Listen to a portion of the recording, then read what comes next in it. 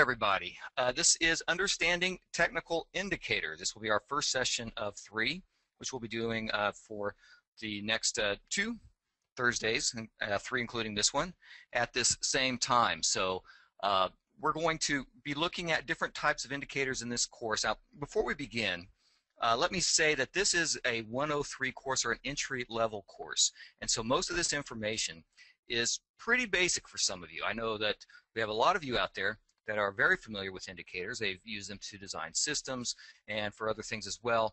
And uh, so some of this may be very uh, common knowledge to a lot of you out there. Uh, I've attended courses like this before where I was very familiar with the material. And usually what I'm looking to do is just glean something out of the course. Uh, if I can get one or two good things out of it, I feel like it was a uh, worthwhile endeavor for me. And hopefully that's how you would approach that for those of you that are more advanced as far as your knowledge of technical analysis. But there's also those of you that are not as advanced. Some of you may be new to technical analysis or really haven't dug into uh, indicator studies as much as others. And this is really who this course is aimed at. And since this is an entry-level course, feel free to ask any type of question about what we're covering. Don't feel like you know this might be below the other people out there. This is entry-level, and so feel free to uh, ask any questions, and I'll do my best to answer them correctly. Uh, today we're going to concentrate on trend indicators. And uh, we'll go through and take a look at uh, the most common trend indicators that are used.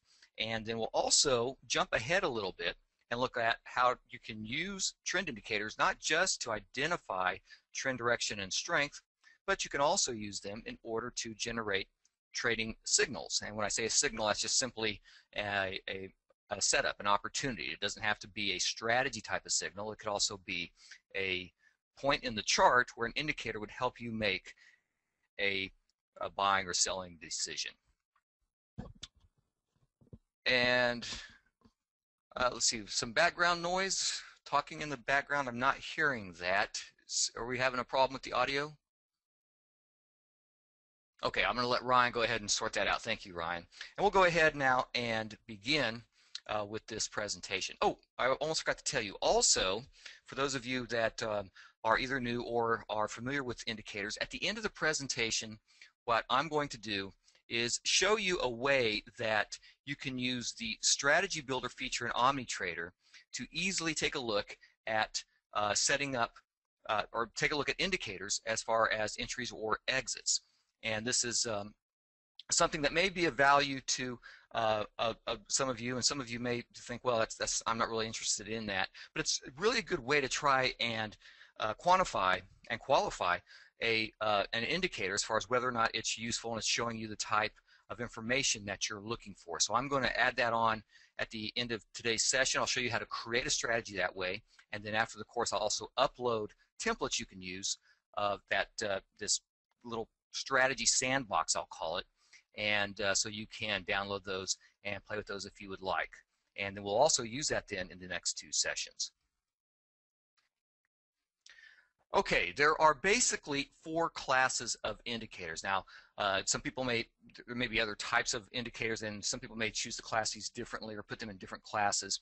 But basically, I think that there are four major types and two of them are uh, much more common than the other ones. In fact, in this course, we'll be concentrating on the two major types of indicators.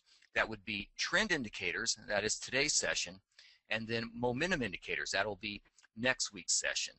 And then you also see I have here volume indicators and volatility indicators. And these are also commonly used, just not as often as the other two major classes. Now, in this online session, though, we'll have the opportunity to go in and take a look at some volume indicators and also volatility indicators. But again, our emphasis will be on trend and momentum. And the trend indicators that we'll be looking at today are basically trying to tell us the direction and strength of the current price trend. Um, the majority of trend indicators look at price only. There are some that may uh, incorporate some volume information as well, but the vast majority of them are looking at price information. And a lot of people view trend analysis as the cornerstone of almost any trading approach.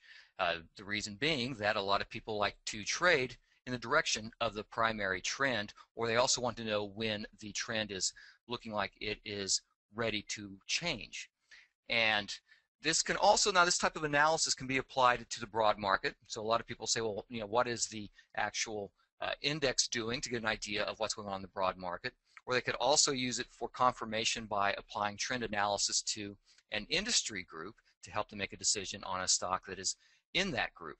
And then usually the trading decision would be on individual securities.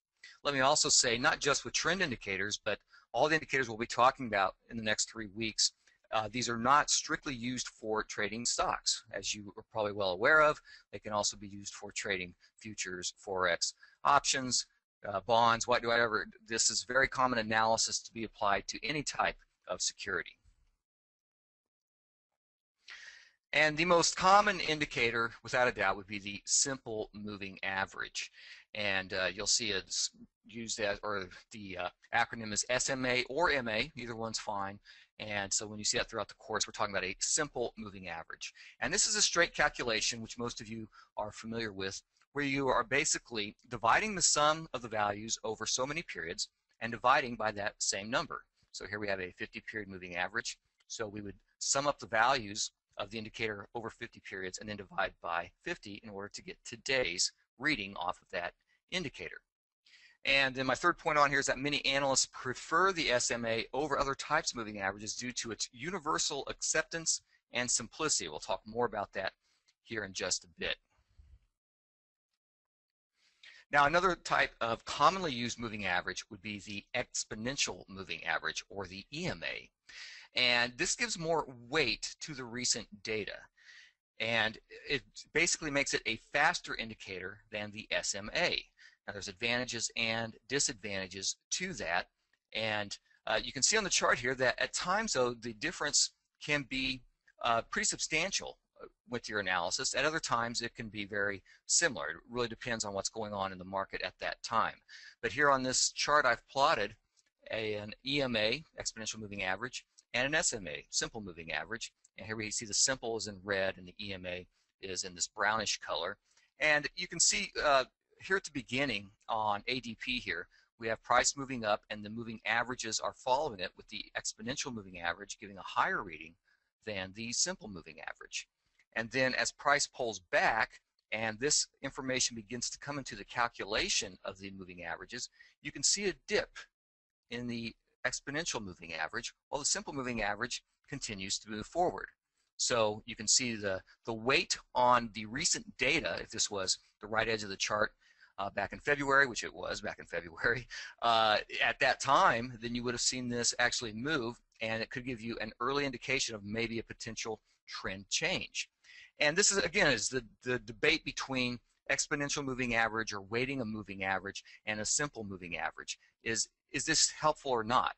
And you could probably get split right down the middle as far as people that think the SMA is um, more helpful than the EMA, the EMA is more helpful than the SMA. The problem with the faster moving average is that it is prone to false readings, right? Because it, it will move quicker, and you can see here it continued, not the strongest upward trend, but the SMA continued to move upward, and we did have that pullback on the EMA. All right, so we'll take a look at these. We'll hop into OmniTrader uh, here uh, in a few minutes and take a look at some moving averages. Um, but you can see the difference here. The quicker moving average is the EMA. Now there's also other types of moving averages which we won't cover in depth in this course. A triangular moving average, uh, volume weighted, uh, weighted moving average, which are all putting some weight on something else in the chart. A lot of times it would be the most current data. Um, but uh, there's, uh, like I said, in this course we'll be concentrating on the SMA and the EMA. Let's talk about a particular uh, simple moving average, and that is the 200 period moving average. A very common moving average to be used by even the most basic technical analysts and people who wouldn't consider themselves technical analysts in the market. My other presentations that I've done for the university here, I talk about how the rise of technical analysis is becoming more prevalent in the general media. You see it a lot on uh, CNBC now, Bloomberg Network if you're watching that. And uh, almost always when they talk about the market, they're looking at basically two things, support and resistance or this 200 period moving average. And you can see here that uh, I have it uh, plotted on the S&P 500 index, and you can see that when price approaches this moving average, at times you'll get a reaction to it. So it pulled back at the beginning of 2010 and did break through, but then it pulled back, or then pushed back up, and tested it two times, and was and the moving average offered soft resistance. Once it cleared it the third time, then we had a strong upward move. It comes back, tests it again, and here it would act as support a bit. It did not break through. Pushes back up. Once it does break, you see a pronounced move to the downside. Comes back up, tests it again. You can see that it again offers some soft resistance and even some hard resistance here. Pushes through, a nice rally once it clears, comes back and tests it again. And it's not just on the index where you'll see something like this, but you can also see it on individual charts, not just stocks. Like I said, it could be a futures chart. If you're looking at crude oil, you'll often see price react to the 200 period moving average. Why? Because everybody's looking at it, or a lot of people are looking at it, not everybody. It's very common though, so a lot of people will talk about when a 200 period moving average is broken. You'll hear it on the news, analysts will blog about it or they'll send out information about it. So this is a very common indicator, and because it's one that everybody's looking at and you can see reactions like this repeatedly, it's also one you should probably be aware of regardless of what time frame you're trading um, or what securities you're trading. Now, less commonly used one is the 50 period simple moving average. And the shorter term calculation makes this more reactive, of course. It's only using 50 periods to calculate the indicator value. Um, and But it's also more prone to false readings since it's uh, more reactive. And here's the exact same chart that we saw on the previous slide, but now I have the 50 period moving average being applied to it.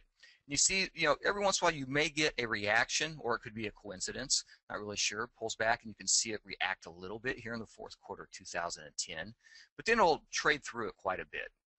And so the 50 period doesn't offer the same reactions you see in the 200 period. And that's also pretty consistent across any chart you're going to look at as well. But it is commonly used uh, and looked at by a lot of people that are analyzing the market. And now what you can do is use dual moving averages in order to analyze the market.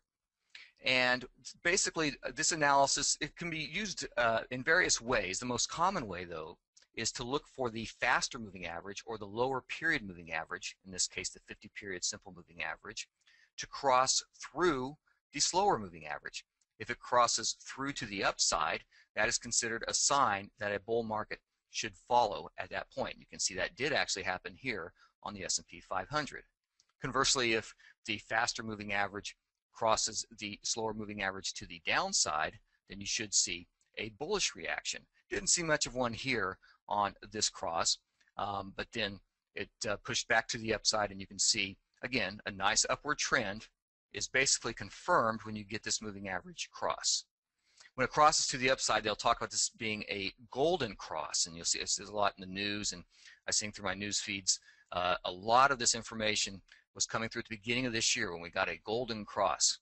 And then other people said, well, that really doesn't mean much because look at the what they call the death cross when the moving average crosses the fast moving average crosses to the downside and at the point it did that it was basically at the bottom already so even though they talk about the golden cross and the death cross um, again, and since people are talking about it, it's worth being aware of it. It's not really that predictive. I think you actually get a better reading on looking at prices uh, relationship to the 200 period moving average itself. I also want to point out another form of analysis people will use, which would be the distance of the fast moving average to the slower moving average. We're about to move into some indicators that will actually use this information in order to give you an idea of how far away the faster moving average is from the slower moving average. And the most commonly used indicator that would use that type of calculation is the MACD. Uh, MACD is an acronym for the Moving Average Convergence Divergence Indicator. And it basically plots the difference between two moving averages as an oscillator. The moving averages we looked at before were plotted on our price chart. Oscillators are normally plotted below the price chart. And here's the MACD. It would be the green line here. And it's basically looking at the difference between a 12 period moving average and a 26 period moving average. And so if the distance is great, then the oscillator will be well above the zero line. When the moving averages cross, then the indicator will be at the zero line. And you can see then if the fast moving average is well below the slow moving average, then you have the MACD being shown uh, well below the zero line here. And there's a lot of uses for this uh, as well. You know, uh, the use of an oscillator uh, lends itself to different types of analysis, even though you're still using moving averages, and we'll look at that here in just a bit. But the MACD, again, is very common. I also want to point out the trigger line on here, which we won't work with much in this course, but this is basically a nine-period moving average of the MACD. Some people will call it a trigger or a signal line, and look for trading opportunities when the indicator crosses through that, right? And it can provide some decent trading opportunities. It's also prone to whipsaws, like a lot of moving average analysis is as well. But that's what we have here with the dashed red line. This is called a trigger line, and it's simply another moving average calculation of the MACD. Uh, I want to talk about the trend intensity index, and I hope I have time today to really delve into this one because it's become one of my favorite trend indicators. It's fairly new. It's only been around for about 10 years. It was developed by a man named M.H. Pee. I'm not familiar with anything else he's done, but this is a really good indicator that he created. And it looks at the deviation of closes above and below a moving average. So here it's calculating a 60 period moving average and it's looking at the closes above and below that actual moving average. And what I really like about the trend intensity index is it's not just simply is uh, price above or below it, it's also showing the strength or intensity of the actual trend. And this chart for Cardinal Health, I think, shows us a great example because we have a nice strong trend pushing upward. The trend intensity index is pegged. So this would be at the 100 level is the highest reading you will get on this actual indicator. A lot of people consider any reading above 80 to mean that we are in a bullish market. And then it actually pulls back a bit. You can see the indicator comes down and hits the zero level. And that would be a bearish market. Below 20, again, is the common level people would consider, uh, a lot of people consider to mean that you're in a bearish market. But, again, the advantage being that as this price moves on, and you can see it basically hits a very uh, consolidated or, or range-bound period through here, the indicator doesn't peg in either direction. It's sitting in between them. So you can also get a reading for a non-trending market. Whereas a simple moving average, we see right above that, I have a 50 period moving average. It's saying, hey, prices above, we must be bullish. Or hey, prices below, we must be bearish. And you see all these whipsaws around that. If you're using this now, visual confirmation is a little bit easier. You see the moving average basically flatten right? So it's not showing you a trend in either direction. But if you're trying to use this indicator for a system or uh, a filter or something in a trading system or strategy, uh, this can be pretty hard to deal with uh, because you know just above or below doesn't give you as much information as you get out of the trend intensity index. So again, a pretty new indicator, one that uh, I really like to take a look at. Uh, I think I've written uh, some blog articles on it as well uh, I think you would find it useful if you take the time to take a look at the trend intensity index. Now, another common uh, use of indicators in order to determine trend direction is using an indicator that's not really meant to be a trend indicator. And this is an example of you know getting creative with an indicator and changing uh, its parameters or how it's calculated in order to get different information out of it. And I think this is the most common example I could think of, which would be the 50 period RSI. That is the relative strength index, and it is a momentum indicator. So we'll talk about it quite a bit next week when we talk about our momentum indicators. But it's normally used with lower periodicities, 9 periods, 14 periods, maybe even 20 periods. But uh, a lot of people have now, and as I'll say now, it's actually been common for quite some time, for people to use a higher parameter reading in order to get trend information. Here you can see I have the RSI set to 50, which is the common parameter people use for the RSI trend indication. The idea being that if the RSI is above the 50 mark, as it is here, you're in a bullish trend. If it's below the 50 mark, then you're in a bearish trend. Now you can see here it's not an actual trend as much as it fell off. It's trading near lows. Um, but then once it pushes back up above the 50 mark, gives you an indication that price should be moving upward. So again, not meant to be a trend indicator as initially developed, but people have taken this and turned it into a pretty commonly used indicator for actual trend analysis. All right, so let's recap trend analysis quickly before we move on, and I'll see if anybody has any questions or comments, or if they uh, want to talk about another indicator that's commonly used they may want to bring up. Um, but uh, what we just looked at were indicators that can help us determine not only the direction of the trend, but also some can help us determine the strength of the trend. And this helps us trade in the direction of the current market bias, and also increases, hopefully increases the likelihood of a profitable trading outcome. All right. Okay, so we're going to move on now to trading trend changes. I want to check and see if we have any questions. I'm doing good on time here. And if you want to, you can raise your hand or you can type in a question, and I'd be uh, uh, happy to answer. Or if you'd like to make a comment, I'm open to those as well. If not, we'll just plow right ahead and move on. Uh, I have a question here from Matt. And Matt says, what's the difference between the green and red lines in the MACD? Okay, let's go back and take a look at that. I think it'll be quicker to do it here instead of in OmniTrader. Here's the MACD again, Matt. The green line is the actual indicator. This is the MACD. And uh, in fact, uh, I thought about capturing it by itself, not even talking about the trigger line, but if you plot it in OmniTrader, it'll have a, uh, the trigger line in most other programs as well. But the green indicator, this is the difference between the 12 period and the 26 period exponential moving average.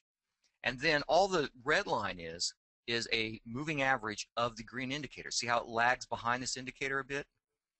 And so people will use that as a trigger line or a signal line. When you get a cross of the actual MACD through the trigger line, they consider that as a potential buying opportunity. And also then a cross back through the trigger line could be a potential selling or shorting uh, opportunity as well. Uh, yes, Matt. So yeah, the, the green line is just the difference calculated of the 12 period moving average and the 26 moving average. But that is the actual MACD right there. All right. We get back now to our current slide. We'll go ahead and move on. So we just looked at how indicators can help us determine trend direction. And we can also use these same indicators in order to trade the changes in the trend. It makes sense, right? If it's showing you direction and it changes, then it's probably trying to tell you that there is a change in the actual trend. All right. Now, a lot of people will look at uh, using these methods for longer term trading approaches, um, but you can do it short term and medium term as well. Um, again, you get too tight, you're going to get false signals and uh, you know, the shorter the parameters, the faster the indicator. We'll take a look at some examples, but normally you're looking for a longer term approach because you're trying to trade a trend. All right? Okay, so a very common way that people will trade with these trend indicators is to look for price to actually cross through the indicator itself, and this one being the in, uh, moving average. And you can see here we have uh, Ameritrade, was moving upward in March of 2012 and starts pulling back. We've plotted a 50 period moving average with that. And so if price crossed that to the downside, you could consider that a change in trend. Prices move through there, so that could be either a good short opportunity or go to cash if you were simply just trading long.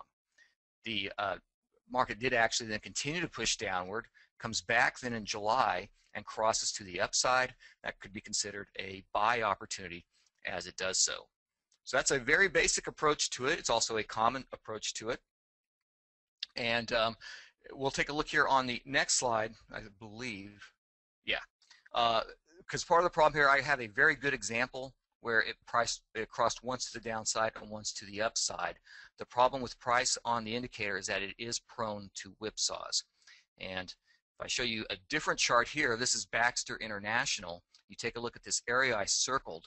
If we were to use that same approach, you see it bouncing around here, and we were just taking, you know, going along on a cross to the upside, short to the downside, this could be a real mess. And so some people look for a way to also smooth the price data yet again by adding another moving average. Now we talked about the 50 period and the 200 period approach to analyzing trend. Well, here we can also use a similar approach in order to find entry and exit points. Here I have a 20 period simple moving average and a 55 period simple moving average. And you can see in that congestion that we looked at before where price crossing through would have been problematic, we only have two crosses. It crossed first to the, uh, oh, I'm sorry, first to the upside. Yes, the faster moving average is red, and then to the downside. So even though this was a bad signal, you only had one instead of maybe a dozen or so if you're looking at price. So this is the advantage of using two moving averages. Now, while it is less prone to whipsaws, if you're smoothing data twice in this manner, you're going to get later signals. But if the market's trending well, that's usually okay. Uh, here's an advantage in the fourth quarter of 2011 for Baxter. As it pushes up, price crosses the 20 period moving average. It also crosses the 50. But the two moving averages don't cross until after prices cross both of them. So you get a later signal. So your entry would be somewhere around here. You see it's already made this move. But again, you're not trying to catch the whole trend with this approach. This approach is basically saying, I want confirmation that uh, this trend is actually taking place, and I'll try and get a piece of the trend. And you can see another good example to the downside and also to the upside uh, here for Baxter. All right, so that's one way to try and avoid the problem of whipsaws with price on a moving average. But again, you're slowing down your entry signal by doing so. Now we can also take the MACD, which remember that's just the difference between two moving averages, and look for crossovers on it as well. This is a uh, pretty simple approach that people will use, and that's basically looking at the zero line of the MACD. Remember, that's where the two moving averages have actually met. They cross themselves. So it's basically the same approach that we just looked at. We're just using the oscillator version of a two moving average approach in order to get our trading signals. So here we have the MACD crossing through the zero line on Crown Holdings, and you can see a long opportunity and it continues to move upward. Uh, the indicator pulls back and it's close to zero, so that means the moving averages would have been very close together, and you don't see a whole lot of trend taking place here either. So it's approaching that zero line. It finally does break through, and after it does, it does trend to the downside. We see a similar behavior, uh, just inversely as it turns and comes back to that zero line in July 2012. There's the cross and the push to the upside. So the cross of the zero line is one way you can also uh, use trend indicators uh, or, or, MACD uh, in order to trade trend changes. Now here's one that uh, is a little different. Again, it's the trend intensity index crossovers. Let me go back. I'm going to do these other three slides very quickly because you could use this method of just looking for the price crossover of a moving average to always be in the market. And there are systems that, that do that. There are traders that will actually say, okay, if it crosses to the downside, I'm short. Cross to the upside, I'm long. You can do the same thing here with two moving averages.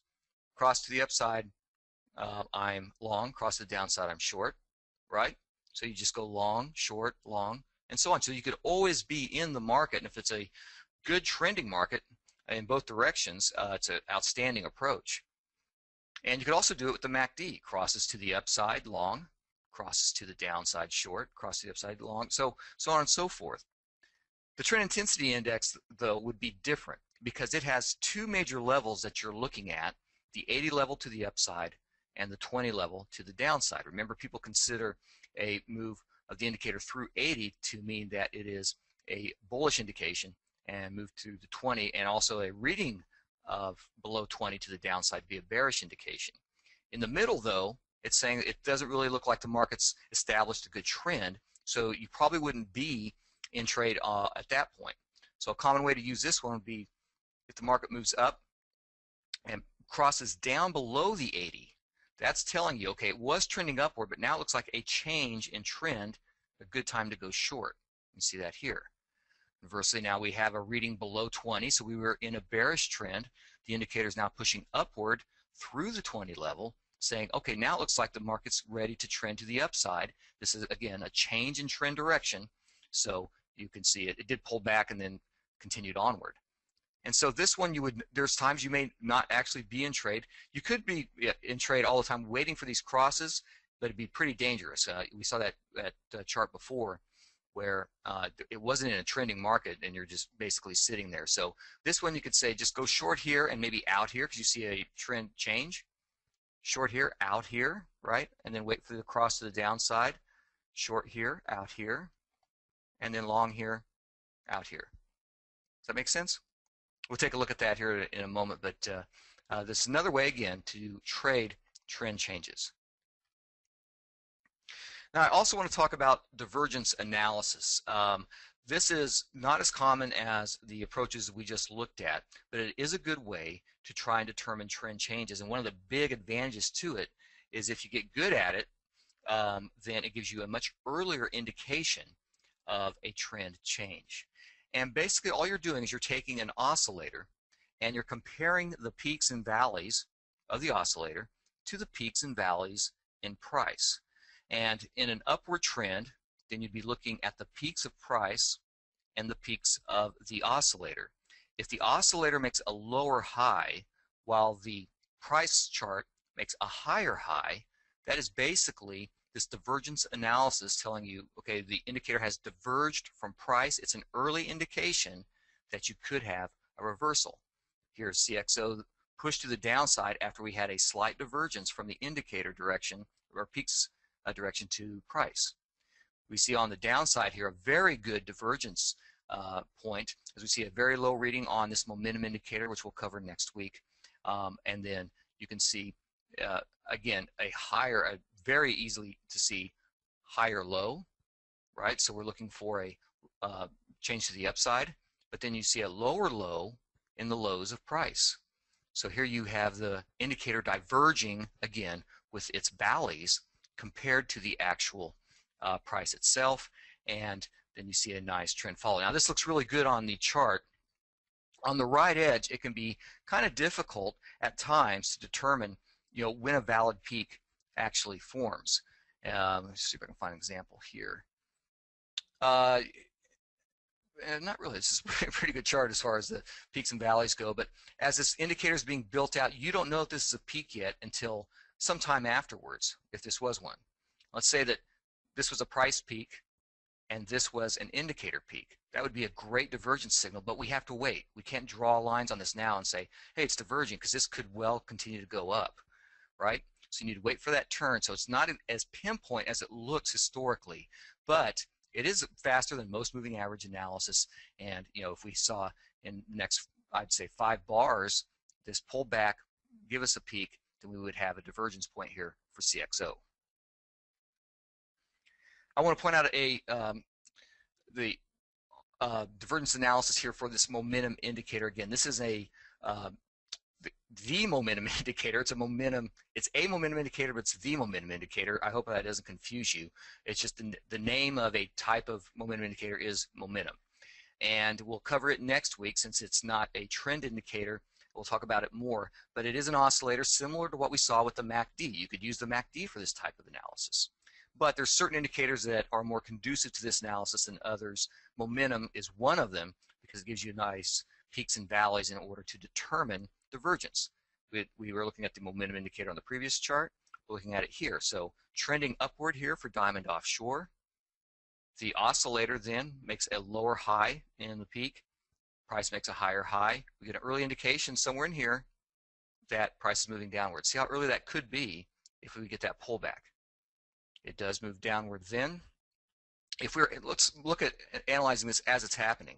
So here it's making a lower low, right? Lower low, so there's no action to be taken here. We're waiting for the indicator valleys to rise while the valleys for price continue to make lows. That will help us determine that we do have a trend change that could be occurring, and that does occur on this chart later on. You can see it happening here uh, in the summer of 2012. All right? And I also want to mention um, another oscillator that I think is very good for this type of analysis, and that is the detrended price oscillator. And it, it's very similar to a lot of the other momentum indicators we'll look at uh, next week, but just by the nature of the way it's built, it is very good at finding divergence. And you can see this is really obvious divergence occurring here now.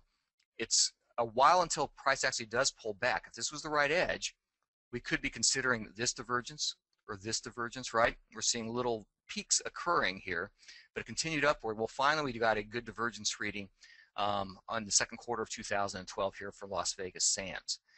Push downward. Again, you, you have these tight little peaks here, but it's good with the DPO. Uh, let me make a point on this. For longer term divergence readings. The short ones, now momentum can help you find, you know, uh, these, these readings better than the DPO, whereas the DPO is better for the longer term divergence readings, giving you a longer term trend change indication. All right, I hope that makes sense. And you can see here, this is over, you know, this is close to a quarter for each one of these divergence readings. But it's just trying to let us know longer term, we got a major reading here, major reading here, and then you saw price follow through. Okay, so that's uh, basically looking at trend indicators in order to determine trend direction and strength, but also using those same indicators to try and trade um, changes in the trend. So at this point, we're ready to hop into OmniTrader. Let me go ahead and pull that up. And I just have a lot of symbols in here, and I don't have any strategies turned on or anything. Um, and I'm going to work on strategies a bit. But first of all, let's talk about plotting these indicators in the OmniTrader software. Let me find a, there's TD Ameritrader looking at that one. There's a good trend, trending chart. Take a look at that one now. there's a couple of ways, excuse me, let me clear my throat here.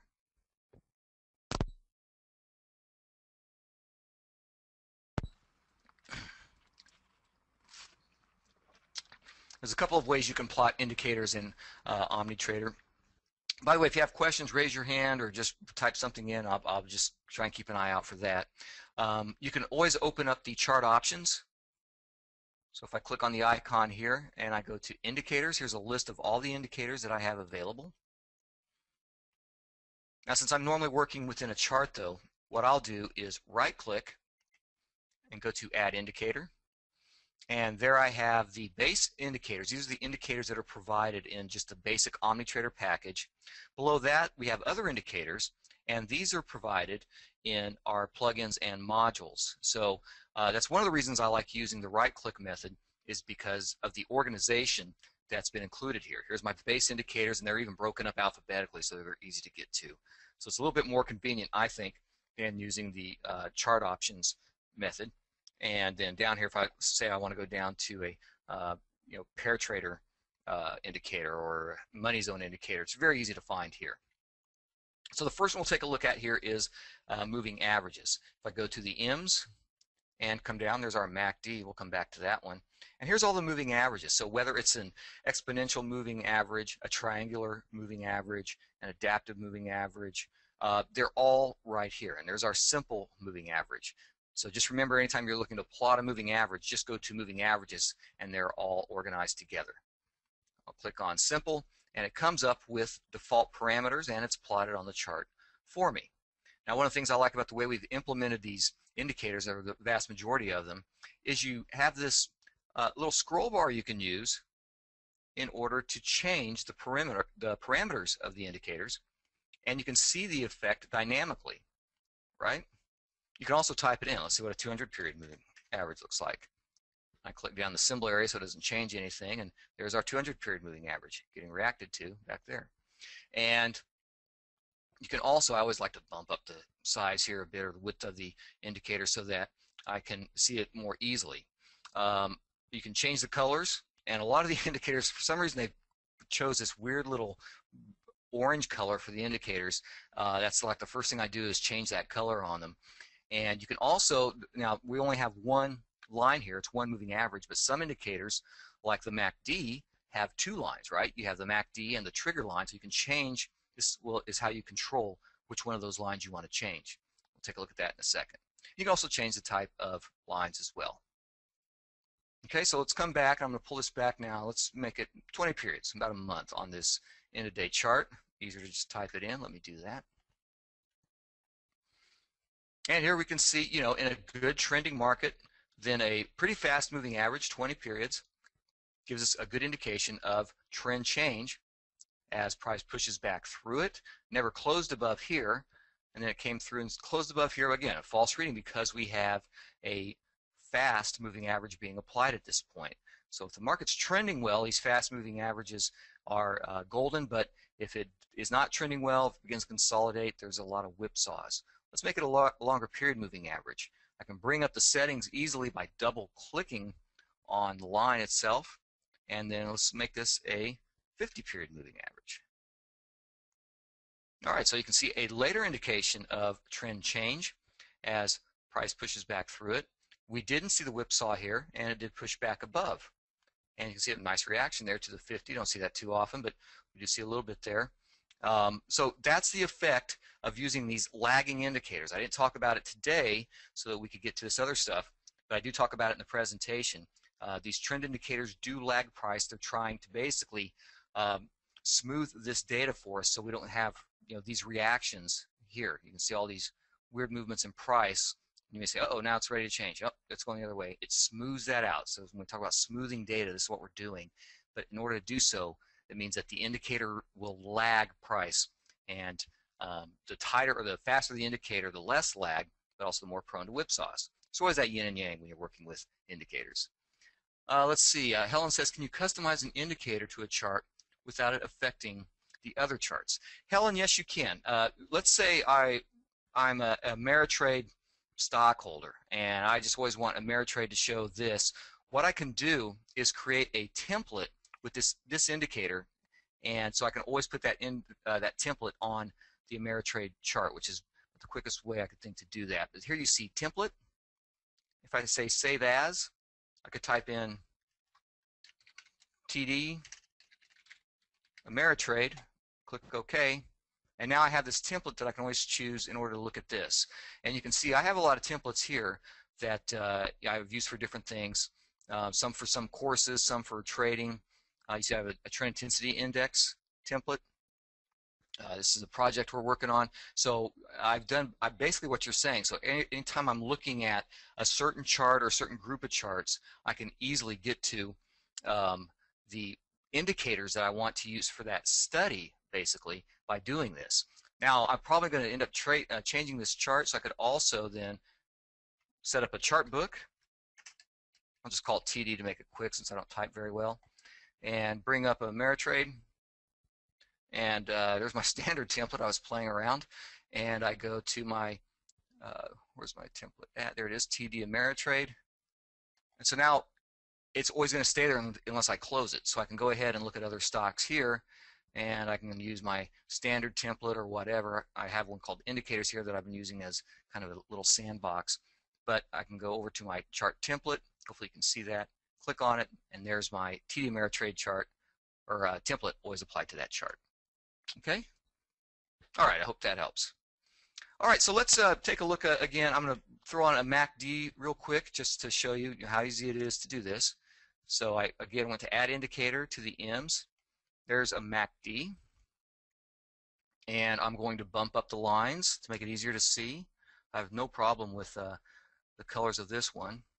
It's one of the few. Uh, there we go. You can also see the default settings for the short period. The, the fast moving average is 12 and then the 26 for the long period. This is kind of a classic setting for the MACD. Um, a lot of people will apply it with these. These are the default settings because these are what a lot of people will use. Moving averages are kind of all over the map. There's the 200 period that's common, the 50 period that's common. Um, but you know, people use different types of moving average. I know Ed was using, I think, 20 and 31. I, I never. 31 is pretty uncommon, right? Why 31? Um, but he found something he liked in using those moving averages. But a MACD is just kind of static. But we do give you the, the ability to change it. Let's say I wanted to look at the difference between a 50 period exponential moving average and then a 200 period exponential moving average. So there I have a MACD that's created off of that same analysis I was using on my charts when I looked at the 50 and the 200.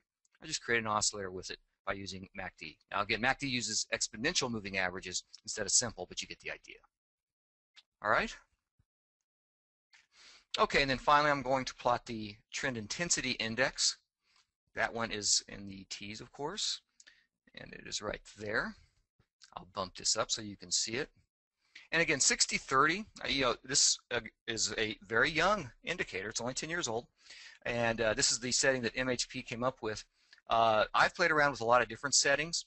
What I like to do is kind of be consistent with the ratio so the major period, this is the moving average that is being used. Uh, if I take that down to 30, then I would use 15 for my minors. Why? Because that's half of 30, and the default settings were 60 and uh, 30, right? So I did basically the same thing, but I, am using a faster moving average and a shorter period to look back for uh, price deviation above and below that moving average, and you get a faster reading then on the trend intensity index. So you know here it's considered a bullish market. Look at that. That's pretty early here as it gives us a nice high reading and then it does pull back at this point. Let me put the crosshairs up and you can see uh, at this point it turned around, goes down to a bearish market, a little bit of a head fake here, and then it pushes back up here, bullish, and then bearish. Um, let me also show you, show you a little bit more of this indicator. Something else you can do to say, I only really want to uh, engage the strongest markets, because above 80 uh, could be this market, that's above 80, but it could also be this market, that's above 80, uh, but it's coming down.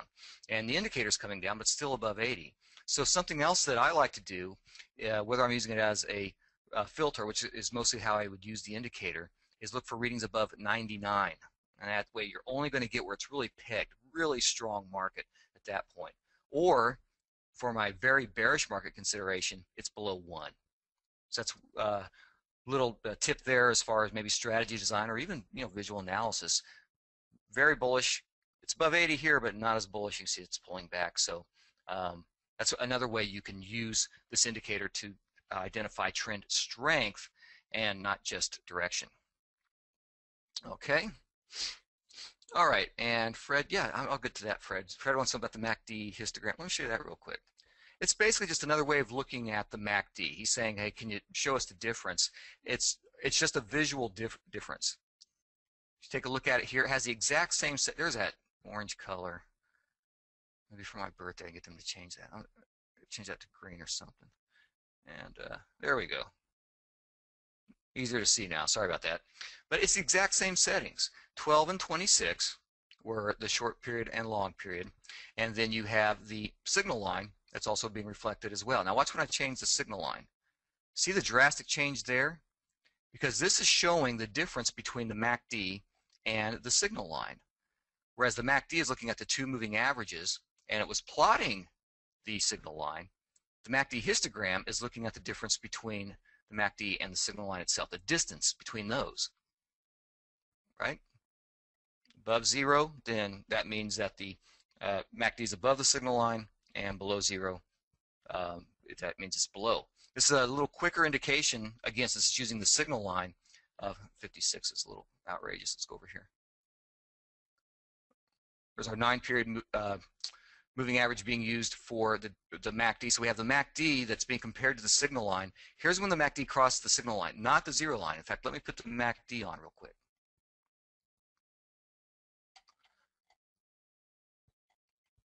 Okay. So here's the MACD. I'll bump that up again, sorry. There we are. see our trigger. It's called trigger here and signal over there. That's just to keep you on your toes. Um, Here's the MACD, and again, we talked about trend change analysis using the MACD itself. It would be through zero, is how it's most commonly used. Move through zero, so that's the point that we get our, our indication. But see over here, it moved through the trigger line. That's when the histogram went through the zero line. So it's just a different way of looking at this information of the distance between these two, but you get earlier indications. Again, earlier indications normally mean more false readings, but you can see that whenever the MACD is testing or crossing that zero line, we're seeing the MACD histogram right around the zero line. Hope that helped, Fred. That's a was a good question. A lot of people like to use this MACD histogram as well. Um, I just wanted to show you the, the basic MACD, and we can expand hopefully in further courses on advanced indicator analysis into some of this other stuff. Okay, so now let me show you. I have 10 minutes to go here. Um, how to build a strategy sandbox in order for some very basic um, trend analysis. And I'm going to uh, open up my strategy window here. And you can see I have a ton of stuff here that I've been working on, but I'm just going to pick something and uh, open it. gap range is from our, our gap uh, system thing, and click Save As. Now I'm going to call it Indicator Sandbox. I'll upload this uh, when I'm done as well. And it's working, and there it is in alphabetical order. I'll go ahead and turn it on so I don't forget, and bring it up. And what I'm going to do is say, I just want to look at maybe long uh, opportunities right now, or looking at getting into the market. So the first thing I'm going to do is basically just clean it up. And again, I'll give you this. Um, I'm, I'm, I'm to throw the trade plan off. I'm just to give an orders block. Here we are. There's an orders block. And uh, I'm to change my stops to nothing but reversing signals. And I'll show you why here in just a minute. And then filters, I'm going to delete these. Now remember, I saved it as something else before I started going in here and destroying the strategy. I learned it the hard way that that is always a good thing to do. Uh, first, not after you start changing things, because then you click OK down here and you just destroyed your strategy. All right, so uh, I have no filters. That's fine. I'm going to close that. I also have a vote block that has been configured to not really do any voting. It has a zero look back period. There's no advisor cutoff. If you don't know what these settings mean, don't worry because I'm basically telling you that in this configuration, which I will provide, the vote block isn't doing anything. It's just passing the system signals on. Okay? And then I'm going into systems here, and I'm going to turn off the active one. And at the very top of the systems menu here, I see all bars long system, all bars short system. And this uh, is these are basic systems that all they do is generate a signal on each and every bar. All right, you're think, okay, how, how's that useful? Well, I'll show you here. So I'm going to do all bars long and click OK. And so all I'm going to get is a long signal on every single bar. That's going to pass through my vote block and go to a filters block. Okay, so what am I going to filter on? Well, let's look at a simple example where price is crossing a moving average. All right. So I'm going to add a filter, and I'll just leave it named filter 2. And for my long condition, I'm going to say that uh, the close price has to be greater than a simple moving average, SMA. Uh, make it 50 periods.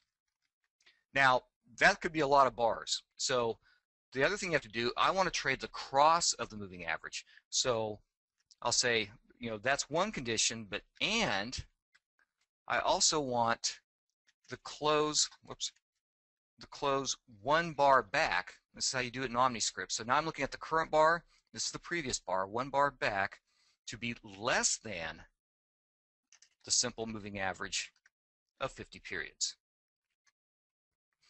Okay, so now I have a filter. The only time those all those long signals that it's pushing at me are going to get through is if on the previous bar price was below the moving average, and on the current bar it's above the moving average. Let's take a look at the uh, the effect here, and I'll also plot a moving average too, so we can see that. Click OK.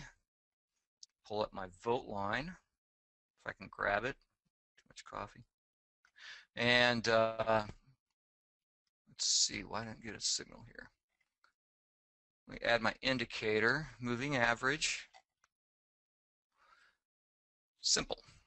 And I'm using a 50. Bump that up. OK. I should have signals there. Let me see what's happening. Ah. Okay, I don't have any exit condition, that's why. Let me add an exit. Sorry about that. since I didn't do a short signal, I'll have to put in, uh, let's go ahead and put in a, uh, I know, moving average crossover stop. This is looking at two moving averages. Uh, well, actually, no, this is more involved than that. Sorry about that. Let's just do a simple, uh, how about the eight stops, what it had on there before? Use the eight stop there and a fixed loss stop. So these are the default settings from the orders orders block. Click OK. All right. And now let me bring up a chart. And Its analysis. Okay. And we can see here. Here, here's a good example. So I can look at basically, here's price coming up. So the current bar, let me zoom in a little bit, sorry. It's always good to start with a good example. Here's the price coming up and pushing through that 50 period moving average. Remember, that's trying to indicate a change in trend. The previous bar, right below that, was below the moving average, so I get a signal that is passed to my vote line. And so I can see the effect then on my chart. It came back and got stopped out right away, but then did the same thing. It closed below the moving average, opened above it, again, that's the only condition I had in there. It gave me a long signal, so now I can see that actually occurring there. See how that works? All right, so let's look at a moving average. All right.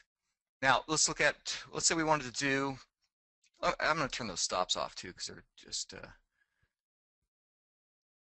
trades. Just bear with me one second here. There, it's easier to see there. See our signals? As price is below the moving average, moves above, we get a signal on there. Now you can see again the problems with price going through a moving average because we get a couple little whipsaw trades. It depends how loose your stops are, um, but you know moving back through it. So we get multiple signals around when price is trading around that. There's a nice one where it moved through and was able to push through there. It was still in trade, which is why we didn't get one here. Again, there's price moving or trading around that. So uh, the reason I'm showing you this is it, it's an easy way to create a system without having to know Omni language or anything, uh, but to create a trading strategy so you can see the visual effect of signals being generated. And a lot of time, I know that I've had a problem with this when you are looking at an indicator in relationship to a chart, you may say, well, hey, look, it crossed up there, crossed down there, that's not bad, crossed up there, crossed down there. Your eye a lot of times will see what you want to see, Whereas if you do this, it really helps you see, oh, wait a minute, I didn't see that. Okay, I'm getting some false signals on this one. See that? So it really helps with analysis to see how these uh, indicators can help you. Let's look at a, a quick example of using dual moving averages. Okay.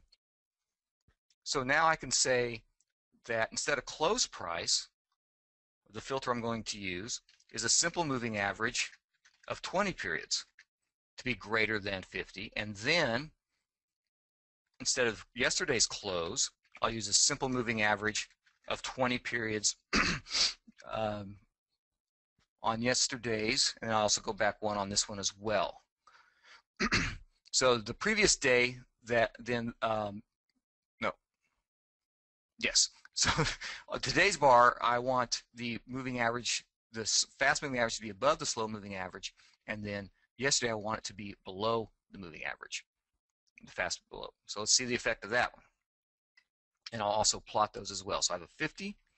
Let me add indicator, moving average. It's a simple, and I'm using a 20 period. I'll change that to blue. Click OK. Excuse me if I'm clicking around too fast. And then I click OK. Okay, and here's our example. There's the moving average again. It got rid of those whipsaws as the fast moving average came down and then it finally crossed up. So on this bar, it was a bit below. Now it's a bit above, so we get a buy signal with the two moving average analysis. Move ahead. You can see it didn't cross to the upside again until we get over here in March 2010. A little late, but that's, again, how we can easily take a look at this. Here's a nice example.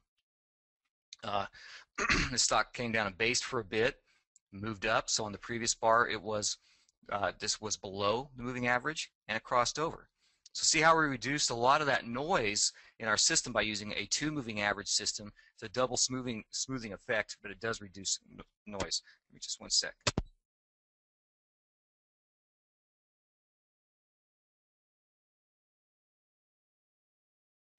Excuse me, sorry. Okay, so you know, I looked at we could do that with the MACD. Is a MACD greater than zero? Is it less than zero? Um, and I, you can play around with this, and you can see how it's one way you can use OmniTrader by using this.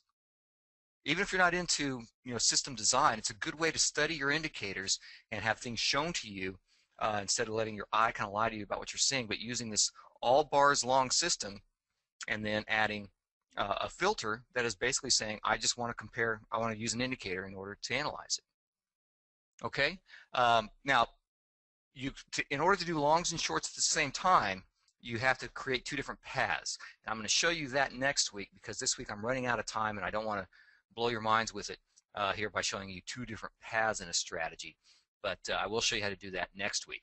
But I'll give you this one so you can play around with some of the uh, trend change uh, signals that we looked at and or whatever else you'd like to that you can see how to use a strategy with this system in order to analyze an indicator. Okay, so we are right up on the end of our hour here. Before we go, let me see if we have any questions here. Uh, you can go ahead and type them in, or you can raise your hand. And uh, looks like match it up. Yeah, uh, it, it is up. Matt, Matt, you there? Yeah, Jeff, how you doing? I'm doing great. How are you? Great, thanks. Yeah, my question was, um, can you plot a two moving average crossover into the focus list so you can get like buy and sell signals inside the focus list? Can you plot a two moving average crossover in the focus list? Well, you could create what I just did like a system with it.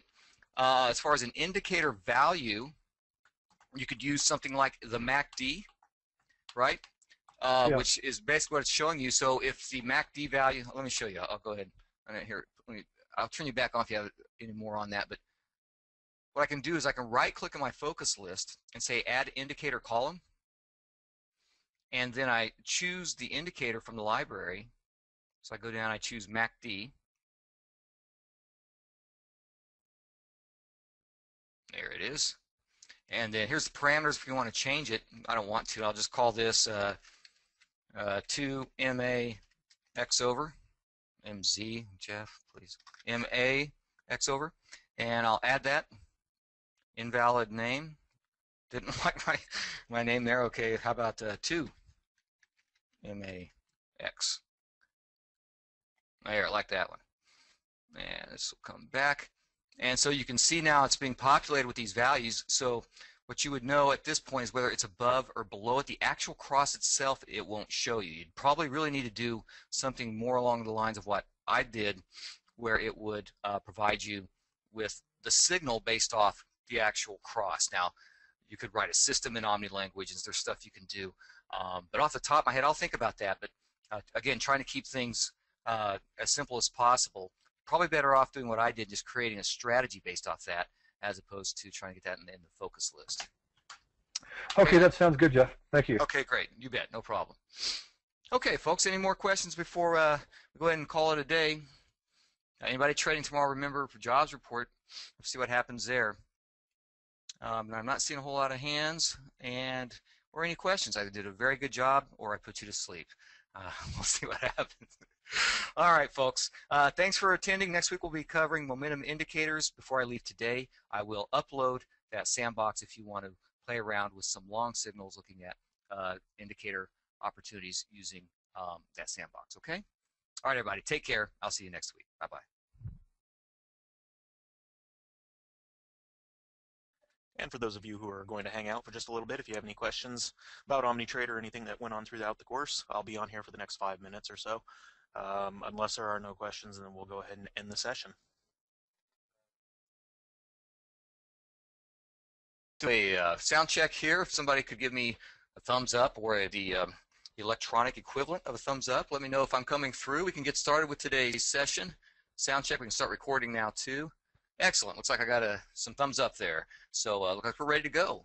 Welcome everybody to our second session on understanding technical indicators and we're going to pick up basically where we left off last week. Last week we concentrated on trend indicators, and we looked at how we could use these different indicators in order to determine the direction of the trend, and some of them could also tell us the strength of the trend. Now, we also looked at how to use these indicators in order to trade trend changes, and that is a very common way that people will trade. It's normally a, normally a longer term way of trading, uh, but it, it, can be used short term. And uh, but today what we're going to look at is a different class of indicators. Uh, the trend indicators are one of the two major classes. Today we're going to look at what would be the second major class, and that would be momentum indicators. And these are normally used to help us find overbought and oversold opportunities. And uh, a lot of our mechanical strategies are based off these types of indicators because they basically are finding an opportunity where a security will move too far away from the actual trend and then it will move back. It's called the reversion to mean concept or mean reversion. Some of you may have heard of that. And uh, so a lot of people will use these types of indicators to find trading opportunities within the trend. A lot of times people will say, well, you know, the market's trending up, but I don't know if it's a good time to buy. And uh, most people will say that using these types of indicators to help you find um, buying opportunities within the trend will normally get you a good value as far as price is concerned and a very good entry. All right, so that's how we'll start today. Let's go ahead and look at our agenda for this week. Uh, first of all, we'll talk about understanding these momentum indicators. And we'll also have a short section today talking about indicators that can help us with breakout opportunities. Very different than what we're looking at with momentum, but it's another way to find opportunities within a trend or at the beginning of a trend. So we'll look at uh, both of these types of indicators in today's session. And that'll take probably about half an hour, and then we'll move on to exploring momentum indicators. We'll move into OmniTrader and take a look at some of the indicators and uh, look at uh, the similarities. And there's a lot of similarities with these momentum indicators. Uh, so we'll take a look at that uh, and a few differences. And then I have a new strategy which I'll upload after today's session, kind of like the one I did um, last week. And this one expands upon the concept of using this strategy to help you decipher whether or not an indicator will be helpful in helping uh, will be helpful to you in finding trading opportunities, and that's by turning it into an actual trading strategy. And so we'll expand upon that concept uh, later in this session. All right, let's go ahead again by talking about overbought and oversold conditions. And as I said before, momentum indicators are commonly used to find these type of conditions. Old oversold conditions can often take advantage of buyers coming into the market and pushing the price of a security higher. We can see that here with the chart for GLW. It's basically trading in a range, but as price falls within the range, then that could be considered to be an oversold condition. Buyers come in, you can even see some volume associated with that. See that? As buyers begin to come into the market and say, well, that's a good value for that stock. And of course, as you know, with supply and demand, as more demand comes in, the price will push higher. Well, Conversely, we could also look at overbought conditions, which can lead to selling pressure entering the market and prices being driven lower. Same chart, same time frame, we have the same trading range, but as price increases within that range, you can see at a point people say, well, wait a minute, this is not a fair value for this stock, and sellers come into the market, you have less demand, too much supply, and then prices will fall on that security. And time and time again, now this is a trading range market, but also in trending markets, you can see the same thing. You will see a stock that is maybe trending upward, and then as it oscillates around the trend, you can still have overbought and oversold conditions within the trend. Let's go ahead and start taking a look at the individual momentum indicators. Remember that is a class, not to be confused with an actual indicator called momentum. We'll take a look at that here in just a minute. We're looking at the momentum class of indicators. And the first one we'll look at is one of my favorites. It's the relative strength index. And this, of course, helps us determine overbought and oversold conditions. It's plotted as an oscillator below the price chart normally.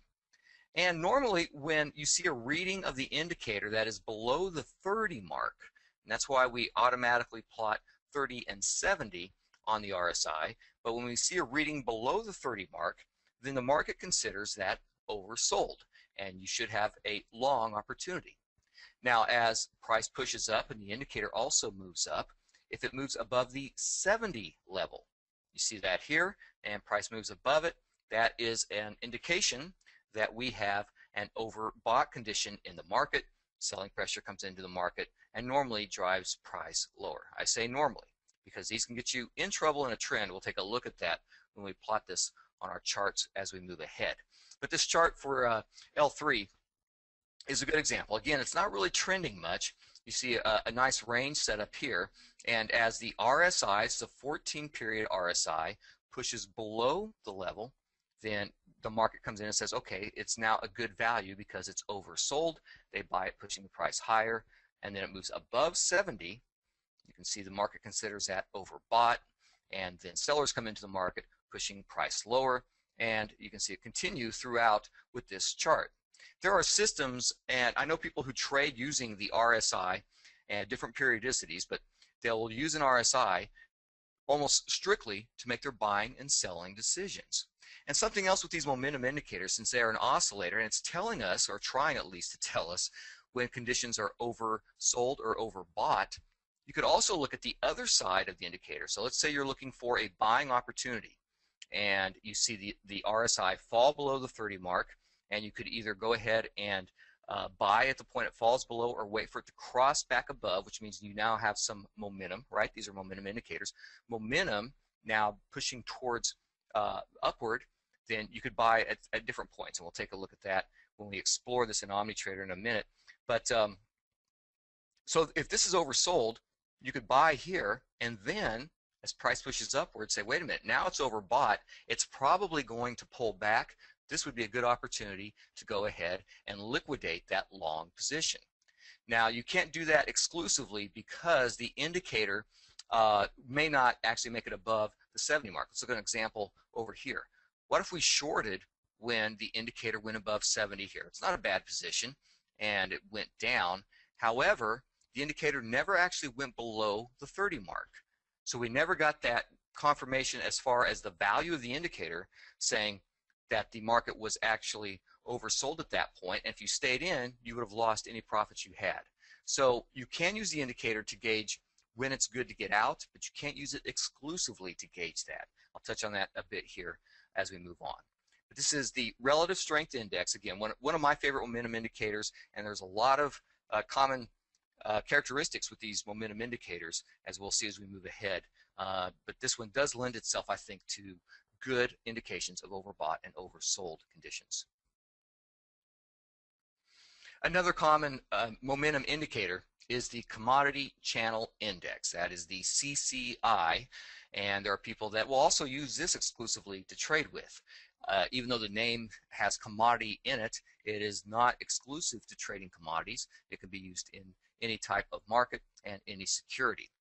And of course, being a momentum indicator, it's plotted as an oscillator below the price chart. Now the scale here is a little bit different than we saw with the RSI. It's a similar concept. You have a middle level. Let me go back so I can show you that on the RSI. 50 is the middle level on the RSI.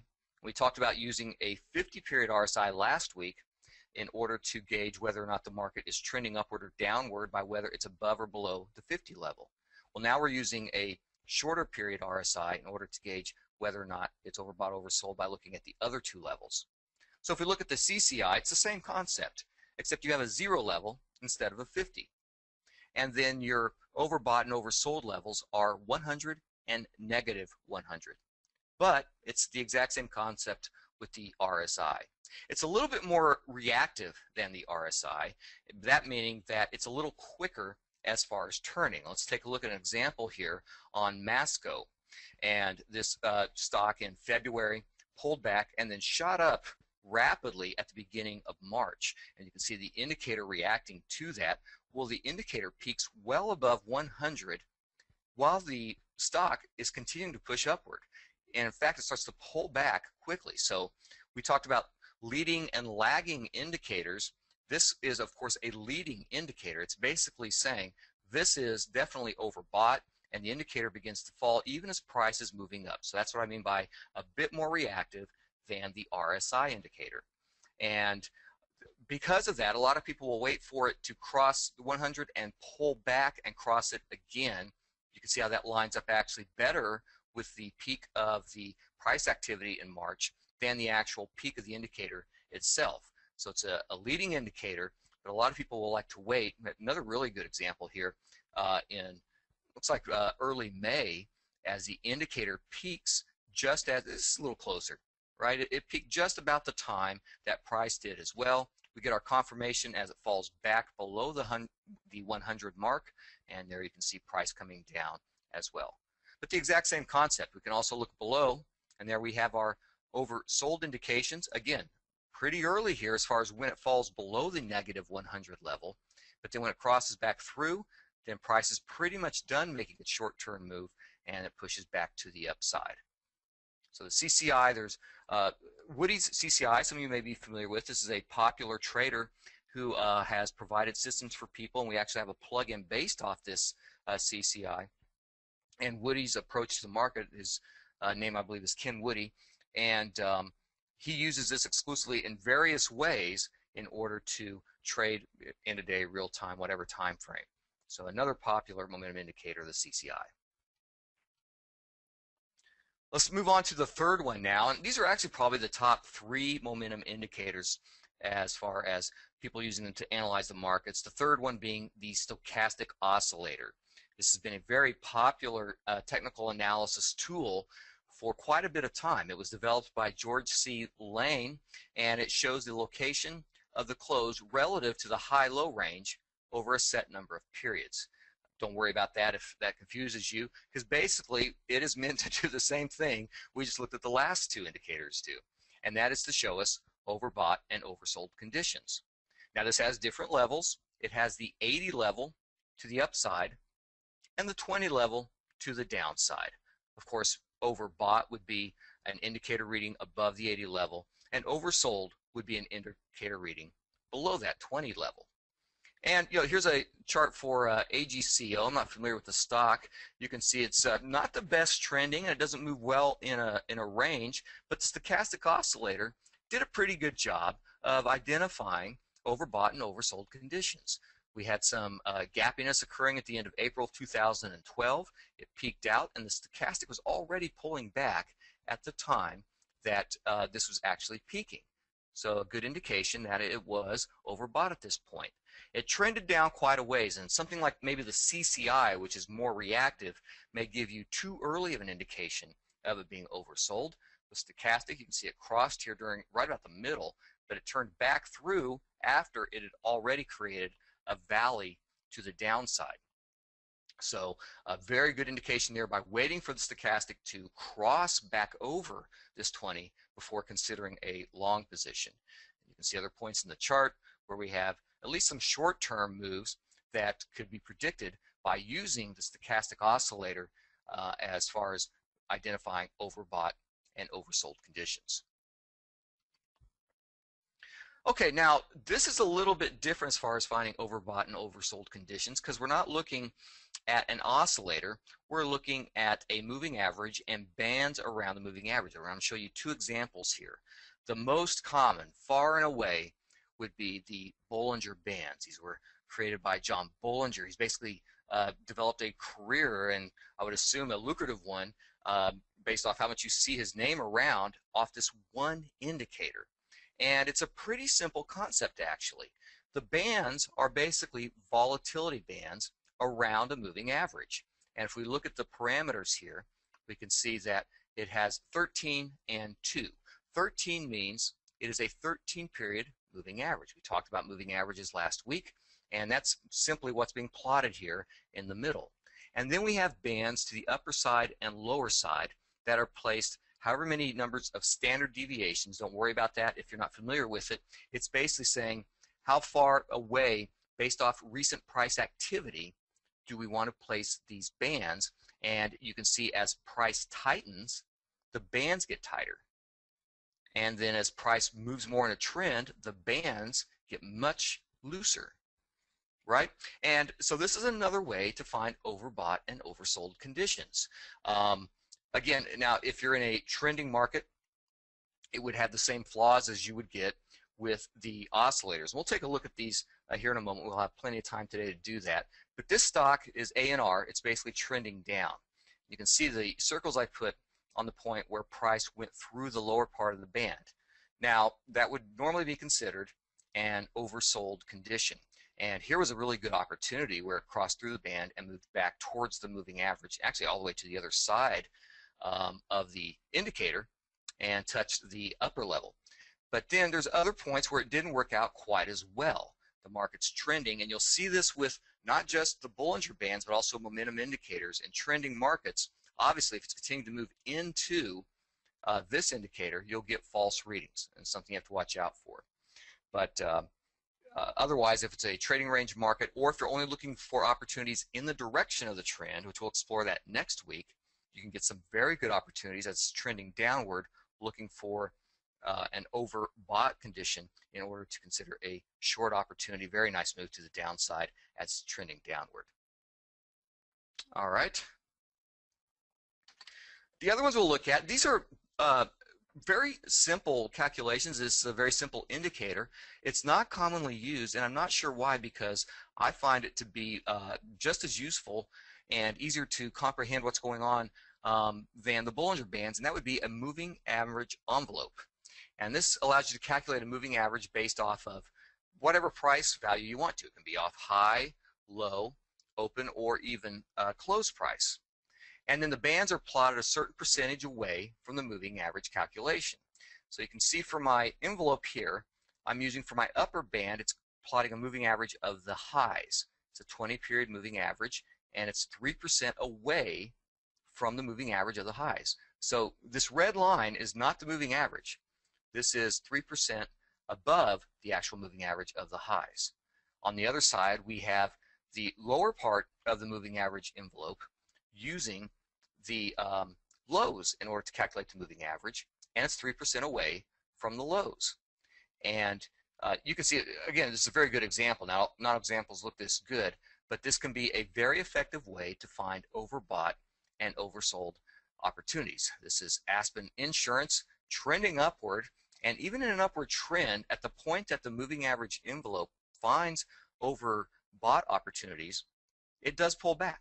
It provides good short-term opportunities, at least in this example. not every example looks like this, but in this example, it does provide uh, good short-term opportunities. And then, of course, in the direction of the trend, even better and less risky because we know that we have a trend moving upward, and so if price does pull back, uh, again, it's almost like a matter of physics that you would expect something that is uh, moving to continue to move in that direction, or moving in a certain direction to continue to move. These are great buying opportunities, great value at the time because what you get is a little bit of a reversion from what is the average, uh, or um, actually get a pullback and then the revert back to the average, right? See that here? So moving average envelopes, another way that you could uh, uh, look for overbought and oversold conditions. All right, let's go ahead and take a break before we get into our breakout trading opportunities. I want, I want to go into OmniTrader, and we'll take a look at some of these momentum indicators. We'll come back and take a look at this. Let me see if there are any questions I can answer uh, quickly here. Fred asks, are the middle areas of the oscillators between the trigger lines valuable for analysis? You know, Fred, they are. And let's, let's go ahead and plot one and take a look at this because that's a very good question. And it really depends how deep you want to go into the analysis. You don't want to have paralysis by analysis, but let me plot the RSI. So I go here, relative strength index, and I get that weird orange color, which I change immediately every time. And uh, now we have something that's easier to see. And here's an RSI. And Fred, here's an example. So we have our 30 level to the downside and our 70 level to the upside. But a good way to tell, you know, whether or not you want to take a overbought or oversold condition, and um, this is a 14 period uh, indicator, but we can see that Alcoa is trending downward from 2012 actually up until the fall. So it was a slow, steady, although it fell a bit there in May, but a, a, pretty steady downward trend. And notice how we can tell from the indicator itself, we get our oversold conditions, but it's not really oversold as much as it's trending downward. That's something you have to watch out for when you're using these types of indicators for analysis. But a good way to know that it's probably not actually in a range and it's oversold is by looking at the other side of the indicator. See the, this example? So we get our oversold reading. If we look at our last relative high, it did not give us an overbought reading, which means it looks like momentum is turning downward. So a very good, let me zoom in on that because that's a very important aspect of using these indicators. And I'm really glad you asked that, that question.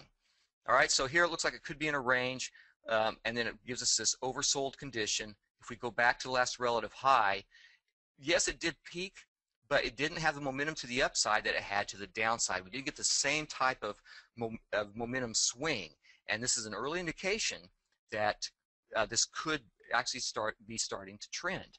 Another example here that really uh, speaks is that we get our peak here in uh, late April, and you can see it, the indicator basically it'll self-correct or, or, normalize as it calculates. Don't, don't worry about the language there. It's basically saying it's trying to find this level once it gets down here, and it calculates up to this point. It didn't come anywhere close to getting through the 70 point. See that?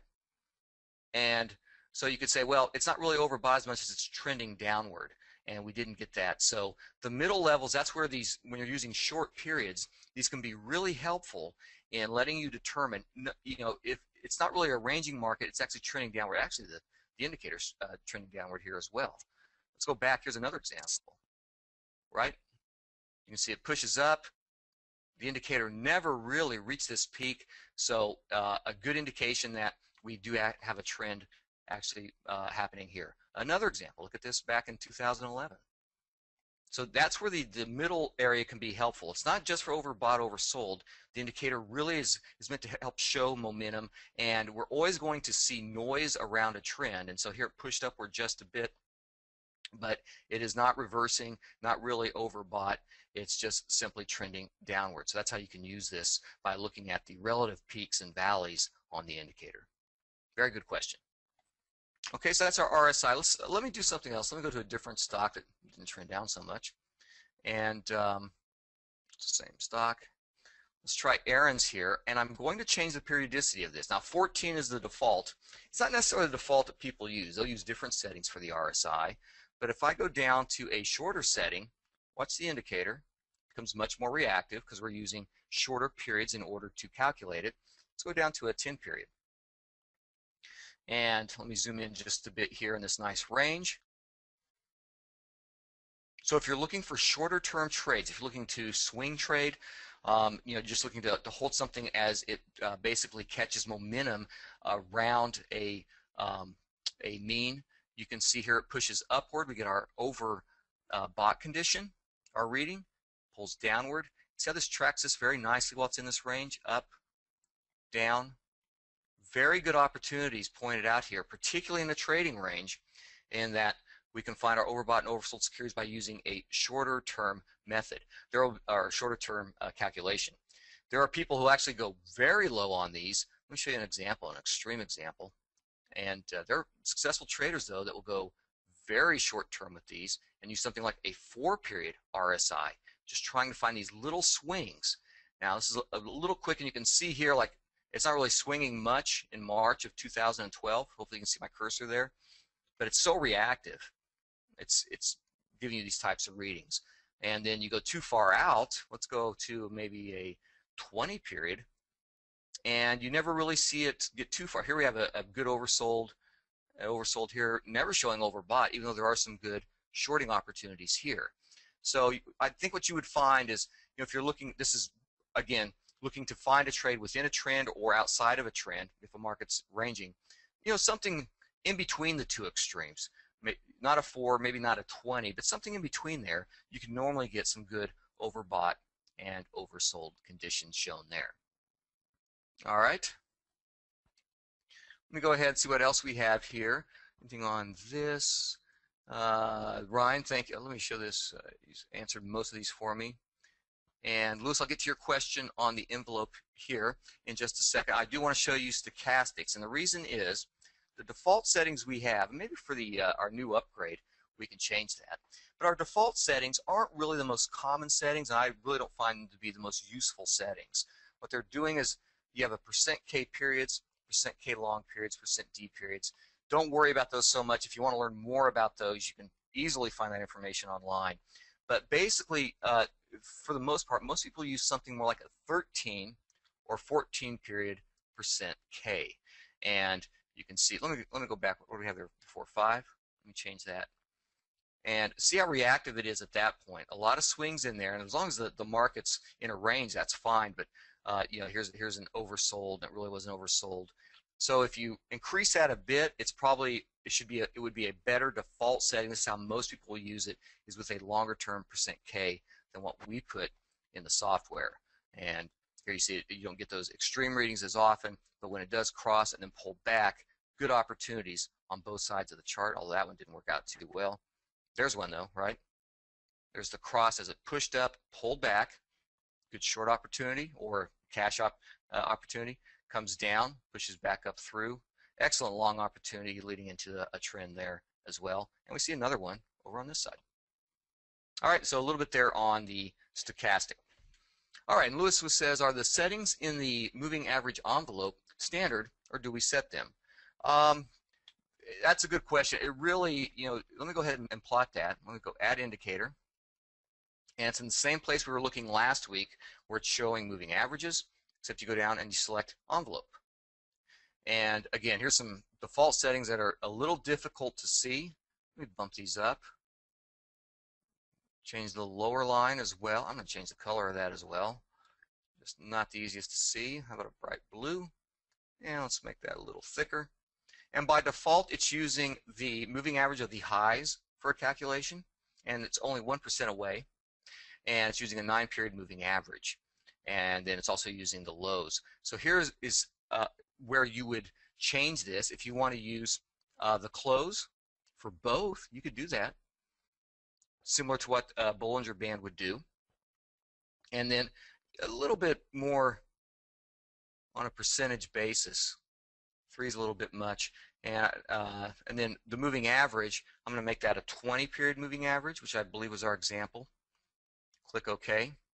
And we'll zoom in a little bit here and take a look at it. You can see there's times, you know, it's pushing upward uh, a lot of uh, momentum, but we're using the, the close for both of our bands here. See that at the top? So it's not as far as way, uh, away as if we are using the highs and lows. That's why I like to use the highs and lows on this. In fact, let me let me change that here real quick. Just want to show you that you could use different uh, data values. Now I'm going to use the highs for the upper bands and the lows for the lower bands. And now you can see we get better overbought and oversold conditions. A very good opportunity here. It still uh, didn't really help us much on this side in January 2012 on AAN, and then uh, pulled back through, so not a big one there, but there's a good oversold opportunity. And overbought as it shot through that on a gap.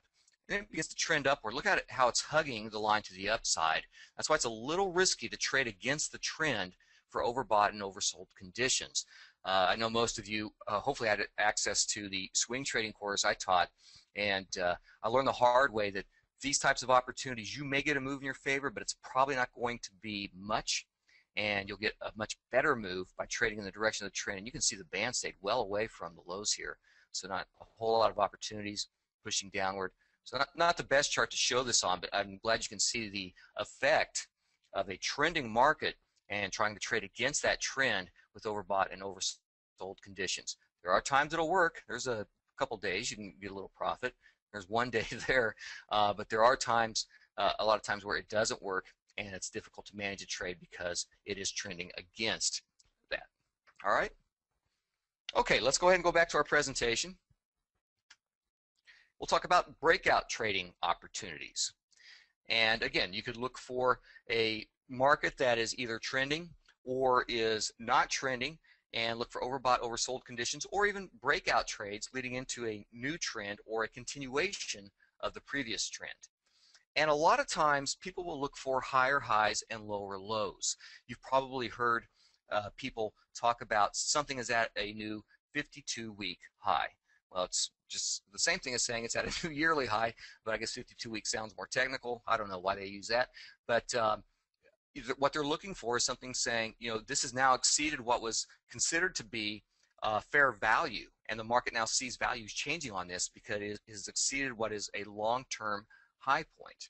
And you can do that easily in OmniTrader or Visual Trader by using the higher high or lower low um, opportunities or the indicators. And you can see here I have plotted the higher high indicator, and I'm looking at 250 daily bars, basically a year and it's going back and it found a peak established in 2010 for CMP and you can see it continues to plot because this is now the last or the, the highest point that was found on the chart over the last 250 periods. And then it is finally whoops accidentally clicked there. Sorry about that. Pushed up just a bit here. We got a new high, but it pulled back. But we see the breakout opportunity occur in November of 2010 as price is now exceeding that continually. It wasn't just a touch above it. It gets above it and then it starts to push above it. That is a good breakout opportunity, find, uh, finding a higher high. And of course, you can also look for lower lows for the same thing. Now, I'm using the example here for a year, but you could also use it short term. You could look for maybe you know a breakout over the last 40 periods. That'd be two months or 20 periods would be a month on a daily chart, and look for these breakout opportunities as well. All right. Another one that can be helpful in finding breakout opportunities would be the volatility ratio. And basically, when we talk about volatility, we're just talking about how much price will change within a certain period. And in this example, we're looking at um, uh, AOL, and what we're looking for is abnormal price move. What that means is that markets coming, or the uh, um, buyers and sellers are coming into the market, one or the other, and really pushing price uh, in an extreme direction that is abnormal. And this tells us then that the market is now participating with this stock, something's going to change with this stock, and this is a really good example. The volatility ratio is looking back 20 bars, so that's about a month here. You can see the setting. And so here on AOL, it's going back and see how well behaved. I mean, AOL is just kind of trading along here, going back a month. What we get is a gap to the upside and some pretty significant intraday movement to the upside as well. In fact, it breaks the high that was established back in July the volatility ratio pegs. Look how it jumps way above what is being calculated as it looks it's looking back over the last 20 periods and this is giving us an indication that now this stock is in play as we see this happen and you can see higher volatility pushing this this stock to new high prices in August and then it begins to calm down again as a fair value is now established for the security so the volatility ratio, like the higher high or lower low, is a good tool we can use to find breakout opportunities which could lead to a new trend or a continuation of the previous trend. Okay, let's talk about one more thing here as far as finding breakout opportunities, and this is going back to our momentum indicators. Now, these could also find overbought and oversold conditions, but I'm using here a, a method that we actually created a plug-in based off of, and that is drawing trend lines on a momentum indicator. And because they're oscillators, now you, support and resistance isn't too useful on these, right? Because they have extremes, uh, limits on the extremes on either side. But trend lines can be useful. And this example for CLB gives us a, uh, a nice illustration of how we can find breakout opportunities. We see momentum drying up on the stock as it goes into a pretty tight range and then a push through that is saying, okay, now it's actually changed this momentum as momentum was dropping to the downside. This is a significant change as we get a break of the trend line to the upside. And you can see it didn't break the high price, so our higher high would not have given us this opportunity, but we did see a significant momentum change, which is another type of breakout opportunity, and it's kind of an earlier signal than you would get from a normal breakout opportunity. Whoops, let me go back because this is the actual momentum indicator. It's in the momentum class of indicators. It just has the same name. And uh, one of the reasons I like to use this for trendline break analysis is because look how many peaks and valleys it has, even with a 14 period setting. So it's good, it's useful in the manner of actually drawing these lines and finding good breakout opportunities. Another one, of course, is my old favorite, the RSI uh, indicator. And here we have CLR, a very similar type of chart actually. You can see it moving sideways through the winter of 2011 or from the fall into the winter and the same type of indicator behavior. You can see how it's not as choppy as the momentum. So a lot of times you won't get as good a reading, but you can see here if we draw a line across this and we see a significant move, that gives us a breakout condition. Now don't look at the price chart, just look at the indicator. We could also do that right here right? So that happened at the beginning of 2012. There's our breakout. If we look up, good breakout opportunity by looking at the trend line analysis with the RSI. Okay? Like I said, we do have a plug-in, and those of you that um, bought the yearly pass into OmniTrader University, you have the all access pass to our plugins. It's called ITLB, Indicator Trendline Breaks. And one of our, it's actually one of our more popular plugins, and it has systems that are based off of this type of analysis. All right, so if you have any more questions, you can go ahead and raise your hand or uh, you can uh, type your question in because we're ready to get into OmniTrader here and take a look at uh, a couple of these indicators we've talked about and then dig into our sandbox. I'm not seeing uh, questions come through. I'll keep an eye on the questions here. Let's go ahead and switch over to OmniTrader. Whoops, wrong button.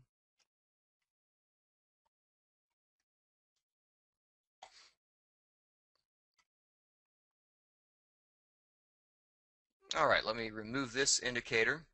And let me go ahead and I'm going to plot the higher high and lower low. And so let's do the higher high, HIJ. Highest high price. See that? If I click on that, by default it's showing five, and you can see how it's tracking the highest high. And uh, you know, as, as the stock is trending down, then that is of course dropping. Let's go ahead and expand that. Let's look at a 20 period highest high value. And I'll thicken this line up so it's easier to see. So now we're looking at the highest high value over a month. And, you know, so this would be a good opportunity to say, well, uh, you know, here it's trending upward. We could look for breakout opportunities as it pushes through that highest high over the last month. You can see some good opportunities. Now, some of these may be short term, um, but you can see it trending upward. And these would be good opportunities to get into a trend trade in this example. It'd also be, it could be used in order to avoid getting into a trade too early as it pulls back. It did not make a new high in September. You can see the indicator actually dip just a bit. So it did not break through that. That tells us, you know, okay, it's actually hasn't actually exceeded what was could be considered potential resistance here, right? that is potential resistance because it was a peak. And so this indicator makes it easy to see that uh, you may be running into potential resistance here and maybe avoid getting into what would have been a bad situation there as well. All right, I'm going to go ahead and I'm going to add the lowest low as well. Lowest low price, bump that up. Make that 20 periods as well. I click OK. And so here you can see, you know, as price is moving up, it starts, we get higher readings on our lowest low. There's a breakout opportunity to the downside. It hasn't been touched in the upward trend. So here we had a trend change uh, opportunity that was signaled by a lowest low with price breaking through where the indicator was at that point, and then we had a nice little, you know, two-month downward trend on the stock, and then it turned around and pushed upward. So a good example on that one. Let me change here. Let's go to Apple. We all know that Apple just always goes up until the last two months. And you can see it pulling back here. But again, it's pushing upward, new highs, new highs, new highs. So you can see it saying, okay, maybe we have a break to the downside, which did occur. It wasn't a huge one, but then another upside indication. Zoom in a bit for you there. Sorry, folks. So these indicators, you know, they, they, might clog up your charts a little bit, but they can be very helpful in saying, okay, well, it was moving downward. Okay, now it's making a new high, a new monthly high. So we could be seeing it pushing to the upside. And then as far as entries, again, you know, you want to get the best price you can on any trade, and so that's where overbought and oversold uh, indicators uh, really come into play because a lot of people will use those because you get good value uh, with a good entry there. But you know, if you're a longer-term trader and you're not really worried about you know maybe a slight fluctuation here, entering on a breakout is not a bad um, condition as long as you know you have a good reading and, and you get a move in your favor. So here we have the, this indicator being helpful for that. And I see a question from Lewis. Let's see, do these indicators have divergence between each other? And so what can we predict from that?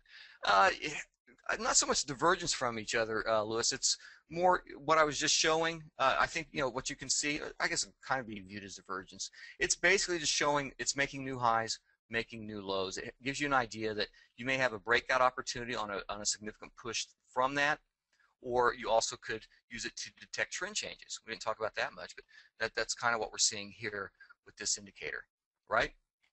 So shorting any time here, as it's continuing to making new highs, is pretty risky. But shorting here is less risky, even though it did pull back, but you can see, you can see my point there. All right? Okay, so now we have, uh, oh good, plenty of time. What I want to do is go in to our uh, sandbox, and I have, let me pull up my uh, vote line. And I'm going to show you, I now have two strategies. I have the indicator sandbox from last week. Let's look at that one first. And again, what I did is I just basically set up a strategy, very simple, that is using uh, all bars long. So I'm getting a long signal on every new bar. And what that does is that feeds this filter to where I can go in and create a condition based off an indicator to give me an idea of how effective it might be in actually trading. All right, so I'm going to cancel that. That's from last week. I did upload that last week. I don't know if you got a chance to take a look, but it is there. Here's what I'll upload this week. It's Indicator Sandbox 2. And I'll upload this. Now, the uh, strategy builder in OmniTrader, it, it, has some quirks or some unique uh, ways of doing things. And uh, this is an example because if I have all bars long, it's it's going to go ahead and push through uh, this line of the strategy in order, but it's only looking at, long, at longs. So what I had to do is create a separate vote filter, which allowed me to collect another line for shorts. So hopefully that's not too confusing. Let me open this up. But you can see here I have all bars short system. So in this line, it'll always fire a long. In this line, it'll always fire a short, and then this vote block will basically reconcile if there is often you know there could definitely be times where you have both long and short signal it'll reconcile that and pass that through so let me show you what I did here is I took the exact same filter we had for the long condition that the the close is greater than the simple moving average 15 periods and it was less than it one period back that's our crossover of price and the 50 period moving average to get a long signal. All right, well, so what I did for the short side of the strategy is the same thing. There's my long, I just basically did a control C by highlighting that, and I'll show you that in a second. Uh, but I highlighted the block, did control C, control V, and pasted it, and I added what would be a short condition. Close is less than the simple moving average, but on the previous bar, close one bar back, it was greater than. And that's how I'm going to get a short opportunity. I click OK, and then the other change I made here is the only type of exit I'm using is reversing signals. Now it's kind of small to see there, but uh, it says uh, reversing signals. So this is basically a always in trade system. I don't have any stops on it other than if I get a short signal that meets these conditions, I'll go ahead and exit my long and get into my short. Let's look at an example here. One moment, excuse me.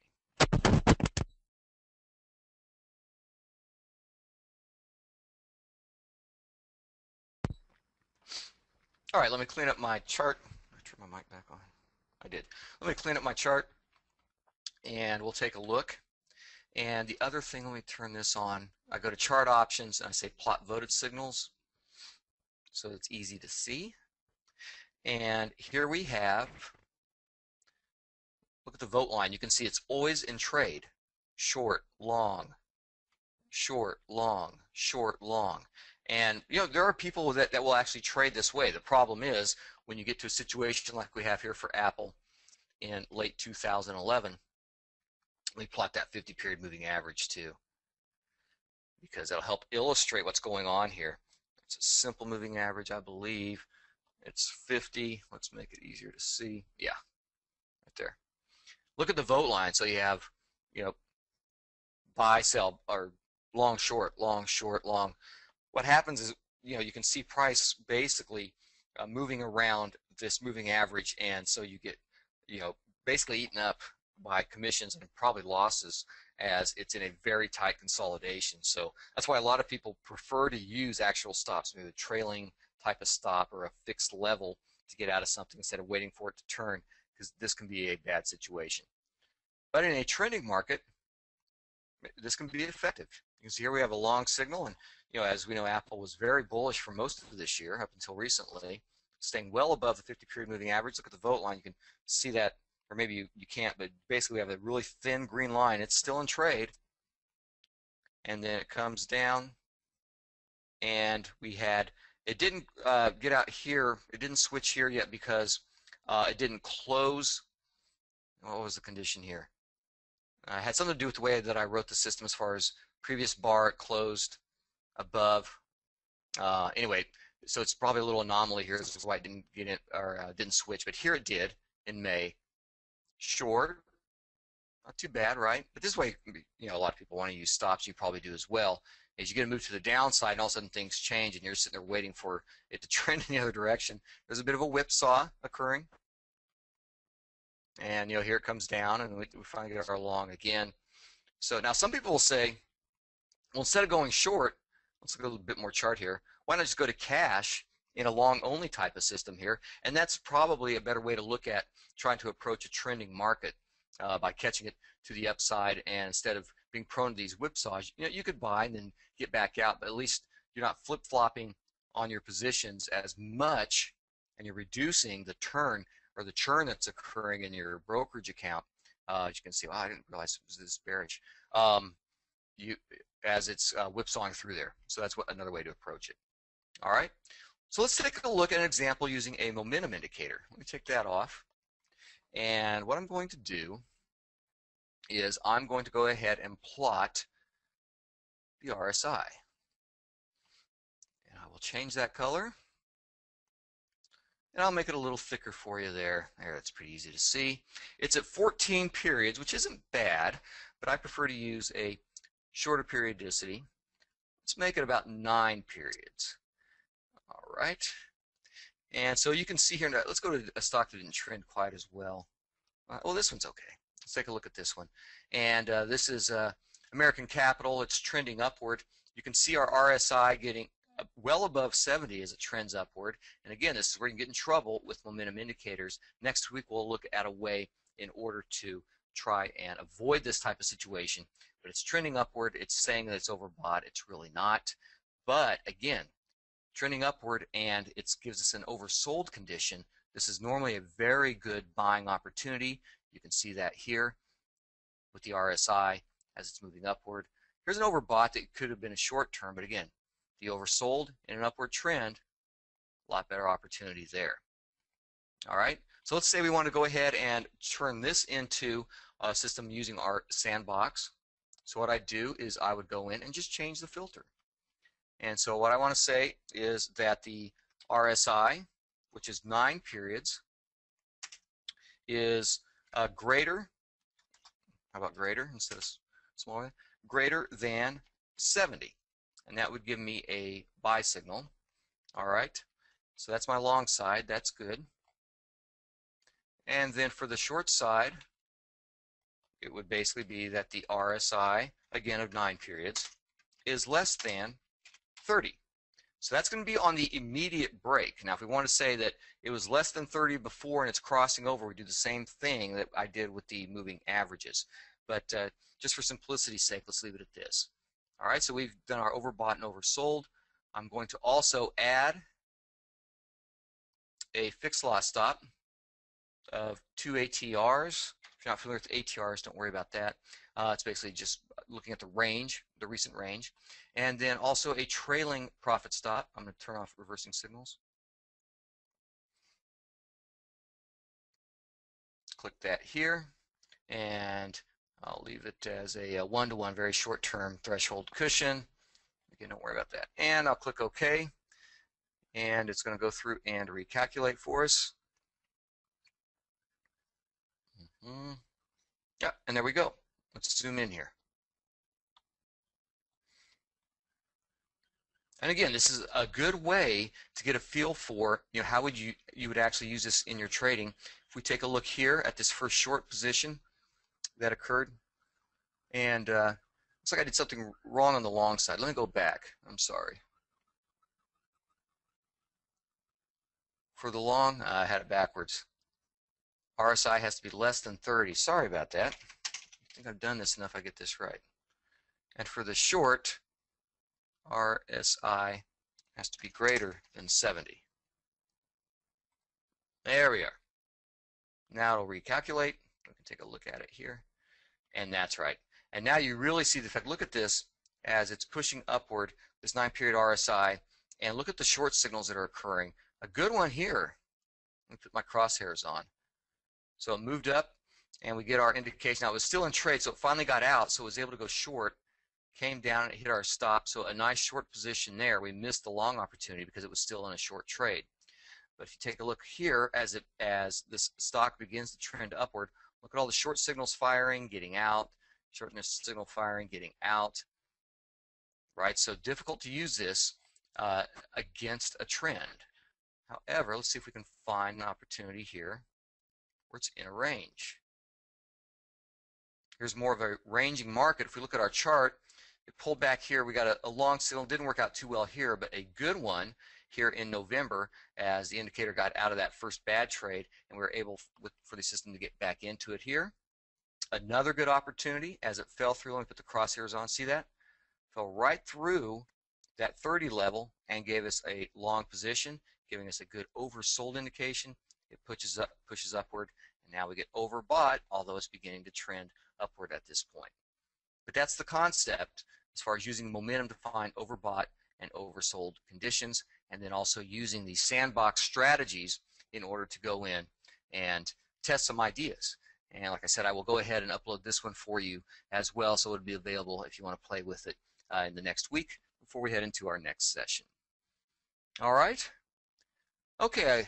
It looks like uh, we've got a little bit of time here for some last minute questions. We're going to wrap up just a little bit early. If you want to raise your hand, feel free to do so. Or if you want to type in a question, you can do so as well. If you have any questions on momentum or the breakout indicators we looked at, uh, go ahead and type those in. And again, next week what we're going to be doing is looking at how to combine these indicators to be much more effective. On their own, they have, as you just saw, a hard time dealing with different types of markets. You combine them, that's what leads to a more robust answer as far as finding trading opportunities. All right, well, looks like we're not getting a whole lot of questions here. We have a, uh, a small attendance here. Hopefully that, that uh, uh, bad link didn't mess uh, you guys up too much. Obviously, it did mess you up because you're here. For those of you that are watching the recording, we apologize for the bad link. Um, if you have any questions, though, you can go into the forum for the class and ask questions there uh, or contact us and we'll help you out in any way we can. Our final session for this presentation or this uh, course will be next week at the same time, Thursday, 4 o'clock Central, and we will look at combining indicators then and see how we can get a better answer by getting different information from the market using different indicators.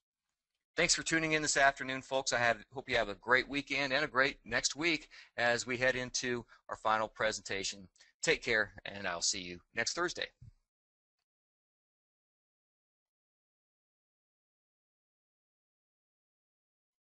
All right, I'd like to thank everybody for coming to the course today. Uh, if you guys have any questions or comments or, or any issues with today's course, uh, feel free to go ahead and use the questions box. I'll be here for the next couple of minutes, uh, five minutes or so. So if there's anything, just let me know. Uh, if not, I will close the course afterwards and uh, send you guys on your way. To our third and final online session for understanding technical indicators. Um, let me uh, talk a little bit about what we're, going to do in today's session and make a couple of points. Uh, the, I only have a few slides to look at today. We're really going to concentrate on one topic, and that topic would be multiple indicator analysis. And the few slides we'll look at will basically center on how to use multiple indicators properly so that you're getting good information from your uh, chosen indicators. And then we'll go into OmniTrader and take a look at, the example using our strategy sandbox and look at how you can use results and do a quick test and get an idea of how uh, these indicators are working with each other and presenting you with some uh, with your trading candidates. I also want to apologize in advance. I'm fighting a cold, and I'm losing the battle, but uh, I'm going to uh, probably be um, clearing my throat and coughing through this. I will keep my finger close to the mute button. I hope that I don't irritate you too much or more than normal uh, throughout this presentation, but I do apologize in advance. Um, but I'll, I'll, see what I can do as far as getting through this without uh, being too irritating here. All right, so, uh, and also I want to say that uh, I think we're going to come in uh, under time today, unless you guys have a whole lot of questions. So think ahead if you do have any questions that I can help you with. and because uh, we'll, we'll have some extra time for some Q&A at the end of this presentation. All right, well, let's go ahead and begin and talk about combining indicators wisely. And when you combine indicators, it's important to consider what class of indicators you're using together so that you're not looking at redundant information. The term multicollinearity refers to the effect of counting the same data multiple times. And the problem with this is that it gives too much weight to some factors while causing other important factors to be overlooked. And we can see an example here with Tidewater and you can see the uh, I plotted three different momentum indicators uh, two of which we covered in our course and one that is just very similar and there's no need to cover every single one of them because they all do pretty much the same thing. And you can see that effect here. I'm using 14 periods for a Williams percent R at the top here. We didn't cover this one but as you can see it's very similar to a 14 period relative strength index which we did cover extensively in this course and below that, we have the momentum indicator itself, again using 14 periods. And if you compare them with each other, there are slight differences. And you can see the Williams percent R seems to be a bit more reactive as it moves throughout the range of uh, its boundaries. The RSI is kind of in the middle. It looks pretty much like it. You can see uh, you know a difference there where the Williams percent R made a peak and RSI did not. But for the most part, it's very similar information, these indicators are returning to us. And then below that we have momentum. It's smoothed out just a bit at 14 periods. But again, as far as the movement of the indicator, as it tracks the price on this chart, it is very similar to what we're seeing with the other ones. Now, if you were looking at these and you're saying, well, I'm using these three indicators, I really like these, and what happens is you'll you will find yourself putting too much weight on what's being returned by basically the same information. You're looking at momentum of price.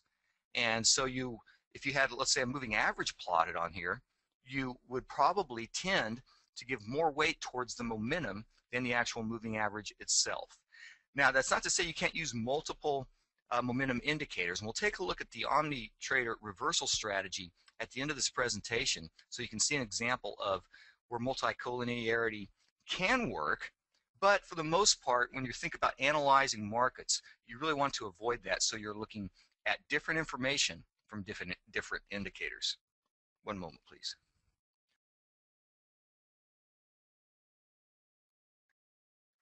Excuse me. So let's talk about how we can avoid multicollinearity. Now, that's an eight-syllable word, by the way. Pretty impressive, huh? But it's basically uh, just saying that uh, you don't want to look at redundant information. And one of the best ways to avoid multicollinearity is to look at indicators from different classes. And we talked about these indicator classes at the beginning of the course. And I have them listed here, but I've also now listed some of the indicators that we talked about. Some we didn't, but we can look at today if you'd like. But you can see under trend indicators, you, you have the simple moving average, an exponential moving average, the trend intensity index, we talked about that quite a bit, the MACD, we talked about that. So they're all good trend indicators, but they're also all pretty much returning the same information to you. Now, if we move over to the other major class, which is the momentum indicators, we have our relative strength index, and then the momentum indicator itself, the commodity channel index, or CCI, and then, of course, the stochastics. So again, we have all these good momentum indicators which can be very valuable when being used, but if you use them together, there may be a problem with multicollinearity. We can also look at the minor class of indicators. To the left here we have the volatility indicators, and we have things like the volatility ratio, which we looked at. Wilder's volatility is a very popular uh, volatility indicator. It's basically the ATR or average true range calculation. It has two different names. Wilder's volatility is one name, but it is basically ATRs. And then we also have the volatility to price ratio. This is basically an indicator that is normalized so that regardless of price, it's returning pertinent information as far as the volatility of a security. And we could look at that later if you wish as well. But so here's three different types of volatility indicators. Again, one could be helpful in your analysis. Adding more on is probably leading you into multicollinearity. And then here we have for our final class the volume indicators. And you could use a volume moving average.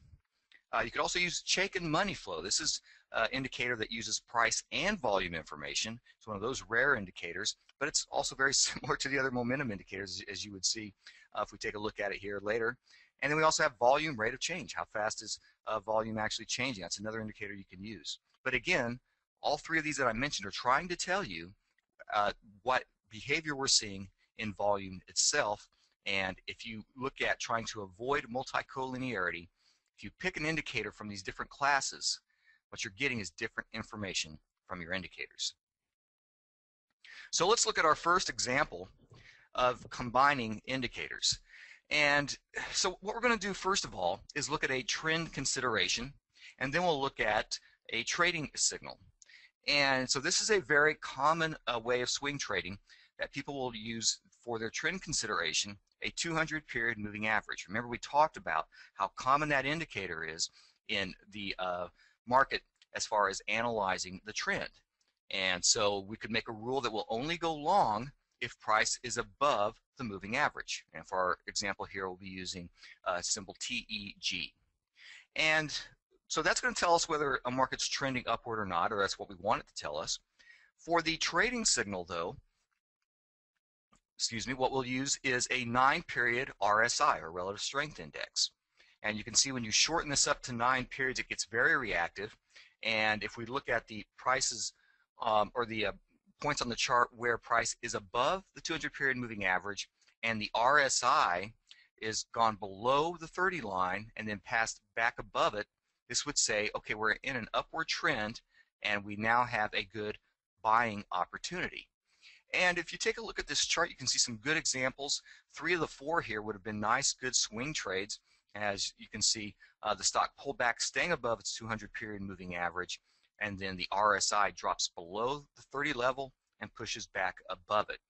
Now, if we also go a step further with this type of analysis, you'd say, okay, well, if the RSI is telling us when a security is oversold, which we're taking as our indication of a uh, getting into the market long, then when it gets above the 70 level, as we learned earlier in this course, then it's overbought and it could be prime to be pulling back. So you could use that for an exit. And there's times when that works and there's times when it doesn't. So if you do decide to use overbought and oversold indications from a momentum indicator, realize that that can't be the only thing you use because there will be times when momentum will not rise to the 70 level. And here's an example in March of 2012. We had an oversold indication, the indicator pushes up. The stock didn't really move too far upwards, so we never really get an over uh, indication, and then it pulls back and price falls, which would be a a pretty substantial losing trade, at least short term. So if you want to, you know, play overbought and oversold, that's fine, but realize you cannot use that exclusively as your trade management um, when you're uh, looking to exit on a trade. All right, so that's our first example of combining indicators, very basic, and we'll take a look at something similar to this in OmniTrader and run a test on it so you can see how combining these can be very effective. Let's look now at our second example, and we're going to use the trend intensity index for our trend consideration. And we're going to have our rule be that we'll only trade long when the trend intensity index is above the 80 level. We're using the default settings for the trend intensity index of 60 and 30, and there's our 80 level. So only when the end or the um, indicator is above that 80 line will we consider going long. All right. And then for our trading signal, we'll use a 14 period stochastic. And uh, again, we're looking for oversold opportunities in an upward trend. So our rule would be to only trade long when the indicator falls below the 20 level. We won't wait for it to cross. It just has to fall below the 20 level. And in this example, we can see at the beginning of 2012, Signet Jewelers was trending upward, had a very strong trend intensity index reading, and we had two buying opportunities as stochastic fell below the 20 mark and then we would say, well, okay, if the trend intensity index is above 80, and once it falls through there, we'll take a trade. Nice opportunity there in February. We can see again about a month later, it falls back below that level. Here in March, now you do see a pullback a little bit after that happened, so you may want to wait for a crossover, but still it did push upward afterwards, so it was uh, oversold at some point here, uh, late March, early April. Now if we move further on into the uh, spring and summer here, you see in May, uh, as the stock begins to trend downward, we get false oversold indications. There's three of them here within two months. These would have probably been, well, this trade would have been good because it was very oversold then. The other two, not so good. And what would keep us out of those trades is using the trend intensity index at, for our trend consideration. The indicator is not above 80. It is not a strong trend. It's not even an upward trend. And so we would avoid taking these trades. Once the stock then turns and begins to trend upward again, see the trend intensity index rise. Now we are looking for an oversold opportunity to get into the market at a very good price. And we see an outstanding opportunity here in late August as the stochastics indicator falls below that 20 mark while the trend intensity index is above 80. All systems are go. Outstanding long opportunity. Okay, so there's another example again where you look just using a trend consideration and then we're using the momentum indicators in order to find our entry points. Let's look at another example here and we're going to use the 50 period RSI. Now remember we talked about this one being uh, flexible. It's a flexible indicator because uh, it's a momentum indicator. We used it first for our signal. Let's go back a couple slides here, right? We used a short period RSI for our signal consideration but now, as I go ahead to example three, we're going to use it for our trending consideration. Again, this is very common. Now, I'm not a big fan of the 50 period RSI for trend consideration, but there are a lot of people who have been successful trading who do use that, and so this example will use it here. And the uh, rule would be that if the 50 period RSI is above the 50 mark, then we would be looking to take a long position. All right, so what are we going to do for our trading signal? Well, we're going to use two different indicators combined together for our trading signal. The first one is a 14 period volatility ratio. And you can see I have it plotted here. What we're looking for is spikes, right? We're looking for abnormal action uh, in price, and that is indicated and pointed out to us uh, by using the volatility ratio. So if we see an abnormal spike, then we know that price has made an abnormal move and we may have a good breakout opportunity into the trend. Uh, the other consideration we want is we want to make sure that it's making a new high. So we're going to use the 40 period highest high indicator. You see it plotted here. And as it looks back 40 periods, it'll look for the highest value. And what we want to see is when the volatility ratio spikes and price has pushed above the 40 period highest high. You can see a couple of examples here. We had a very early indication in October of 2011, and you can see it gapped up, breaking what looks like a pretty decent resistance level. Excuse me just one moment.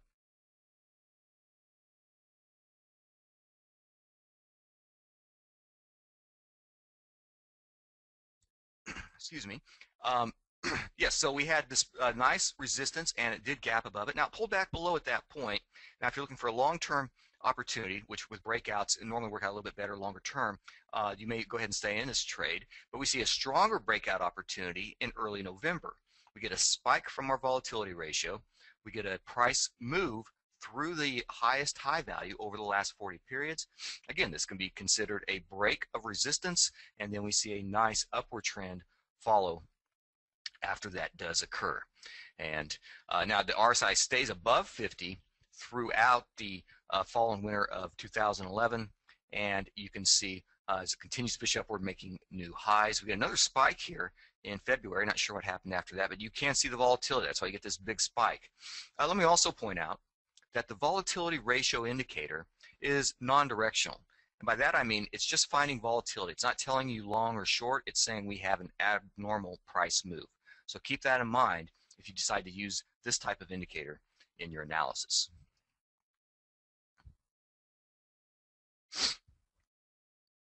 Okay, let's take a look at a fourth example here. And this one's a, a little, uh, I'll, I'll, say creative, because what we're doing is we're using uh, trend analysis and trend reversal analysis. So remember when we started talking about our trend indicators, we said, well, you know, those indicators are very helpful as far as discerning the direction of the trend, and some of them are helpful as far as discerning the strength of the trend.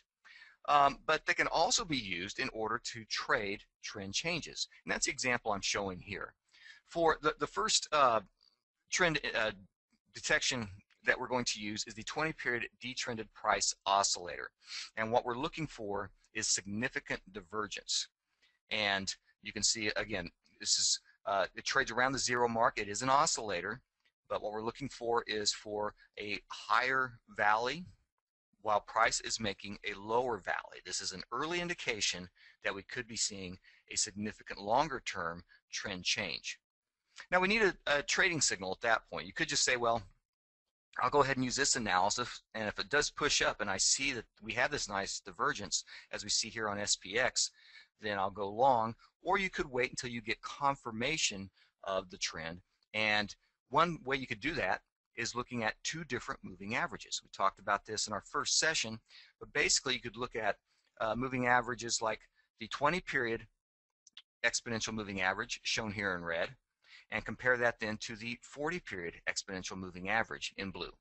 And here uh, you can see at the point after we had our divergence, our early indication, okay, uh, now we want to look for an opportunity to get into the trade. You could use a momentum indicator and look for an oversold condition, or if you're looking for a long-term trend consideration, you look for a crossover of these moving averages. You can see in uh, late October that we finally did get the cross of the moving averages and we had a nice trend to the upside that occurred afterwards.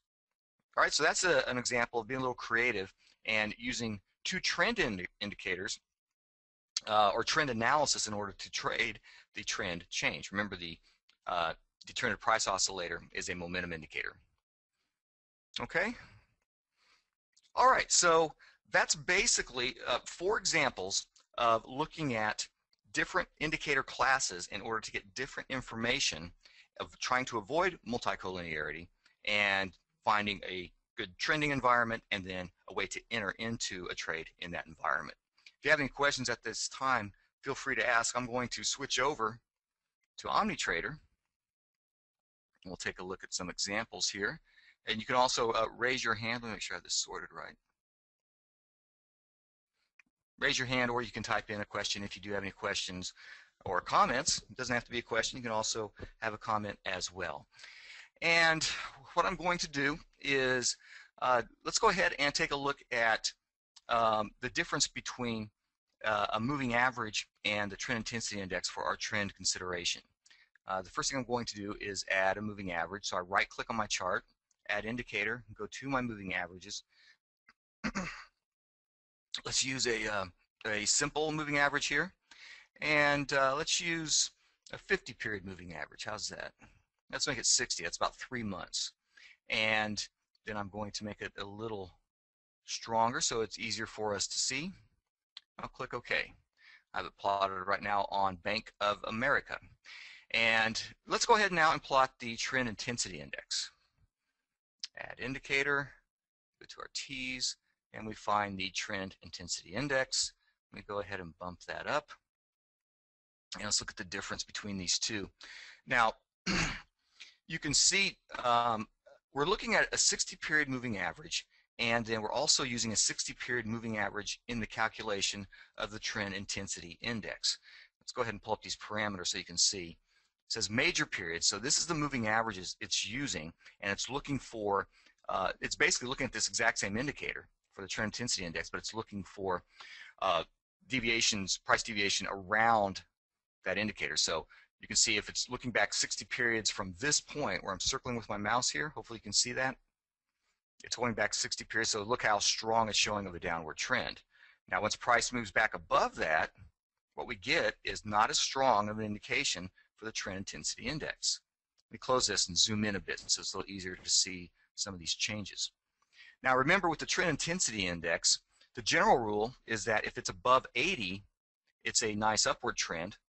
If it's below 20, it's a downward trend. And then, of course, when you're using a moving average on price, the general rule is where is price in relation to the actual moving average.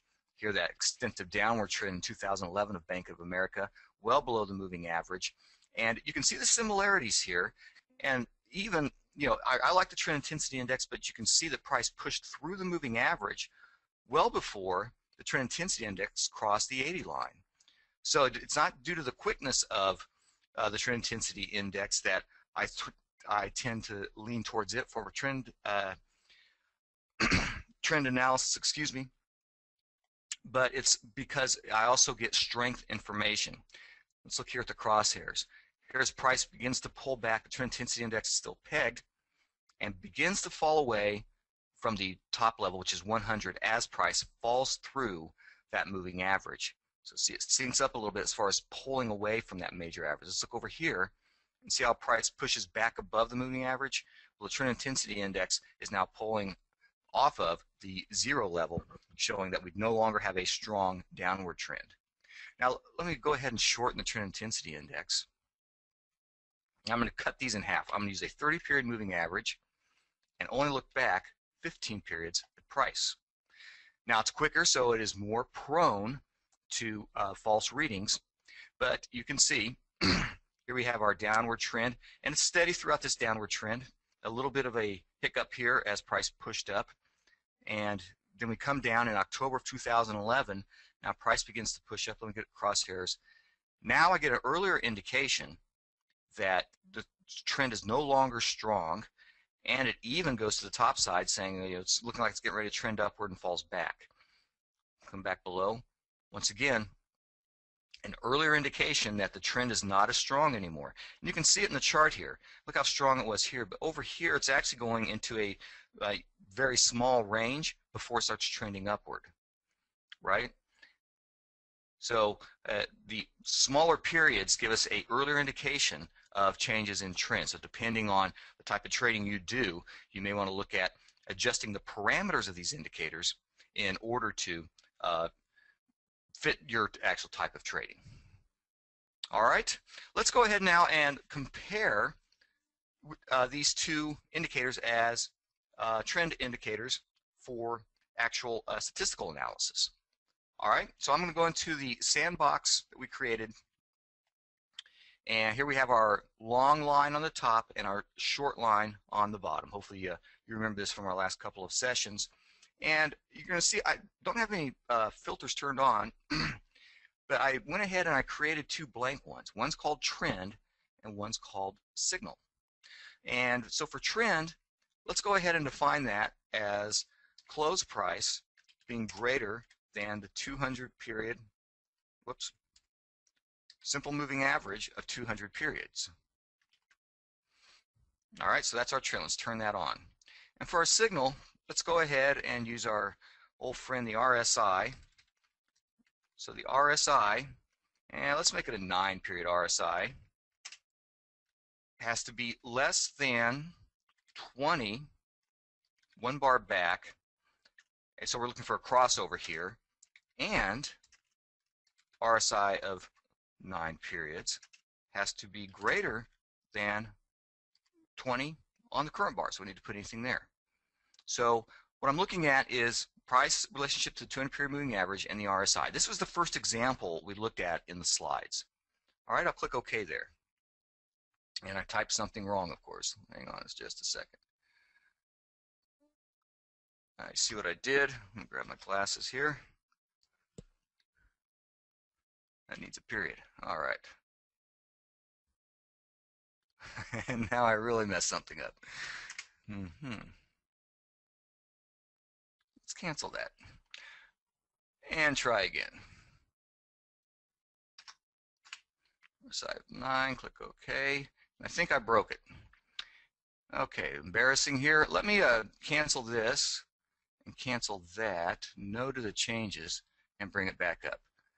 See if I can get past this. I apologize again. I'll do this quickly. RSI, 9 periods, less than 20, one bar back, Oh, I'm sorry. That's what I did wrong. I'm going to blame the cold here.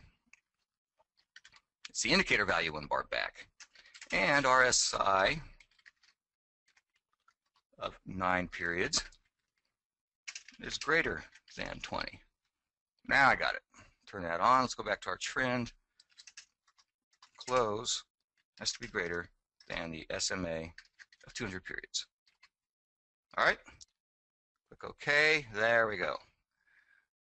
And I forgot to turn my trend on. And we're going to do the same thing on the short side. Same signal, except we're going to be looking for oversold opportunities. So we'll use the RSI of 9 periods. One bar back has to be greater than 80. And the RSI, 9 periods, of the current bar has to be less than 80. And then for our trend consideration, the close price has to be less than the simple moving average of 200 periods. And we click OK and click OK. Looks like everything's good to go. I'm using the Dow 30 uh, just to be fast here, and let me go ahead and run some analysis now.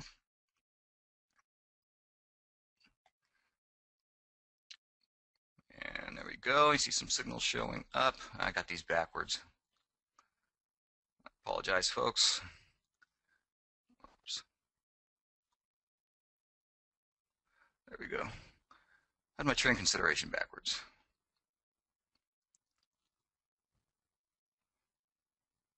Close is greater than, uh, it looks wrong there. Cancel. Let me move this out of the way. Oh, 200 period moving average. Nope, I was right. Sorry, I had the 60 plotted and it really threw me off. Let me take these indicators off. There we go. Now we'll run our analysis. This won't take long. Sorry about that.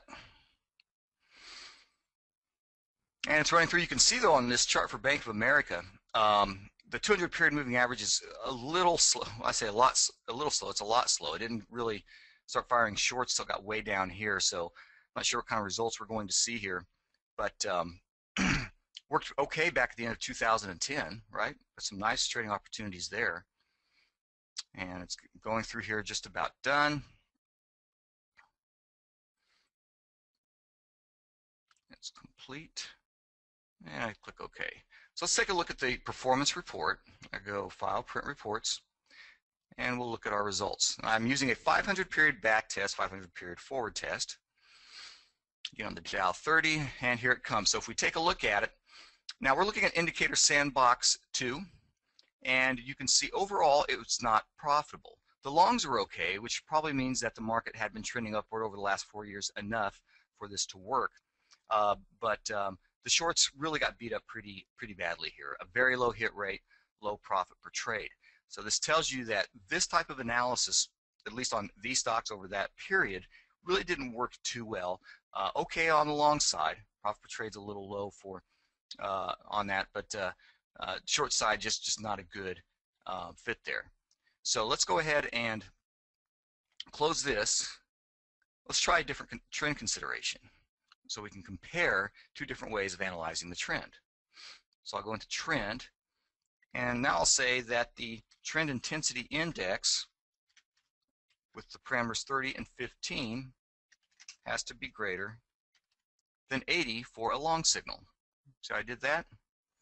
And then for my short signals, I will say that the trend intensity index of 30, 15 has to be less than 20. Okay?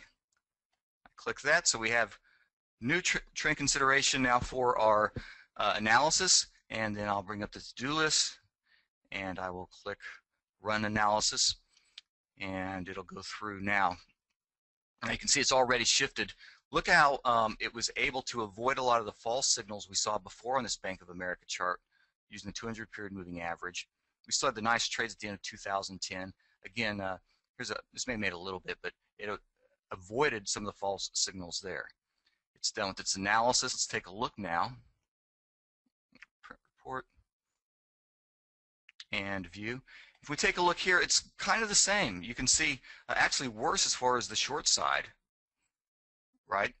Um, the back test is really bad. That those 500 bars, that's two years. And if we look at uh, the long side, you see here again the back test of the profit trader was a little bit higher, but it was lower in the forward test. So I'd say it's kind of inconclusive as far as which one of those actually is working best as far as a trend consideration, at least on the stocks. Now, we were looking at a 200 period moving average. We could shorten that up, uh, or we could take a look at a different way. You know, maybe the RSI, the 50 period RSI for a trend consideration, or also look at a different way of actually looking for our signal generation. All right, but that's one way you can go in and compare different ways of analyzing the trend and generating a signal as far as which ones will provide you with the best trading opportunities. If we, let's look at a different chart as well. Oops, that's the same one. Look here at Caterpillar. Actually, these these result, you know, see some decent signals here. There's a pullback in an upward trend. So, right? Let's take a look example. Here it's just starting to trend upward. We get a nice long signal as the security is short-term oversold. Move to the upside. We have a basic trailing profit stop here as it rises. Basically, stop moving right around that resistance mark, at least momentarily, and get out of the trade there. A very strong upward trend 2010 for Caterpillar. Heading into 2011, there's a nice pullback. We get the uh, RSI, the 9-period RSI, giving us the oversold condition, and there's a nice trade opportunity there. Now this is where it'll get you because let me go ahead and zoom in so you can see this better. We're trending downward here uh, in the middle of 2011, right? And you can see it, you know, moving, and it looks like at this point, if this was the right edge of the chart, let's make it like it is. We have a downward trend, it pushes upward, looks like a good short opportunity. Well, again, now with these momentum indicators, uh, they'll try, excuse me, just one.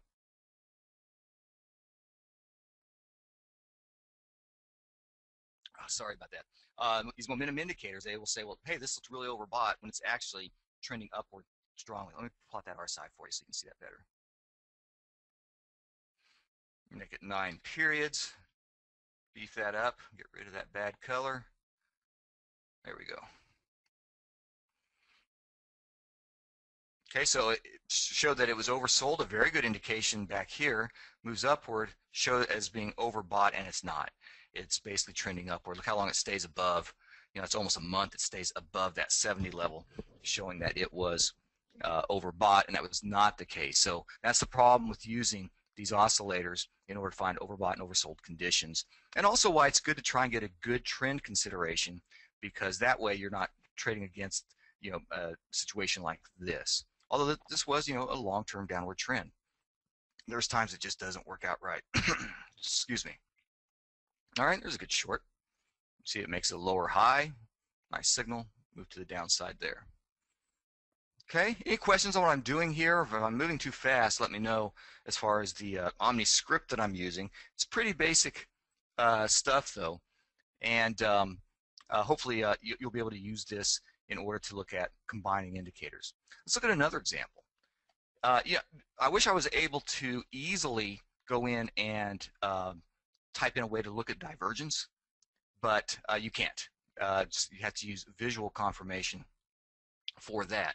Uh, but here's you know an example where you wouldn't have the great peaks to the upside, but look at the RSI falling back as this is moving upward. So we see some divergence here See, there's we can compare those two peaks. I'm going back here for price and the indicator. It was moving up so fast. Look how pegged the RSI is. You don't see that too often. But um, so there's a, you know a lower peak on the indicator and a higher peak on the price chart, right? Draw that for you. Right there. i draw another segment down here.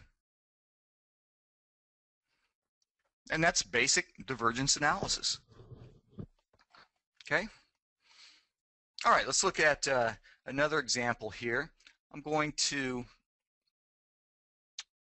for my uh, long signal, let's go ahead and use stochastics. Now, for those of you, um, you know, different uh, indicators have different parameters, and if you want to be sure that you're getting the parameters set up right, or at least um, you know, the right number of parameters and so on. RSI is easy, it only has one parameter. Let's look at stochastics.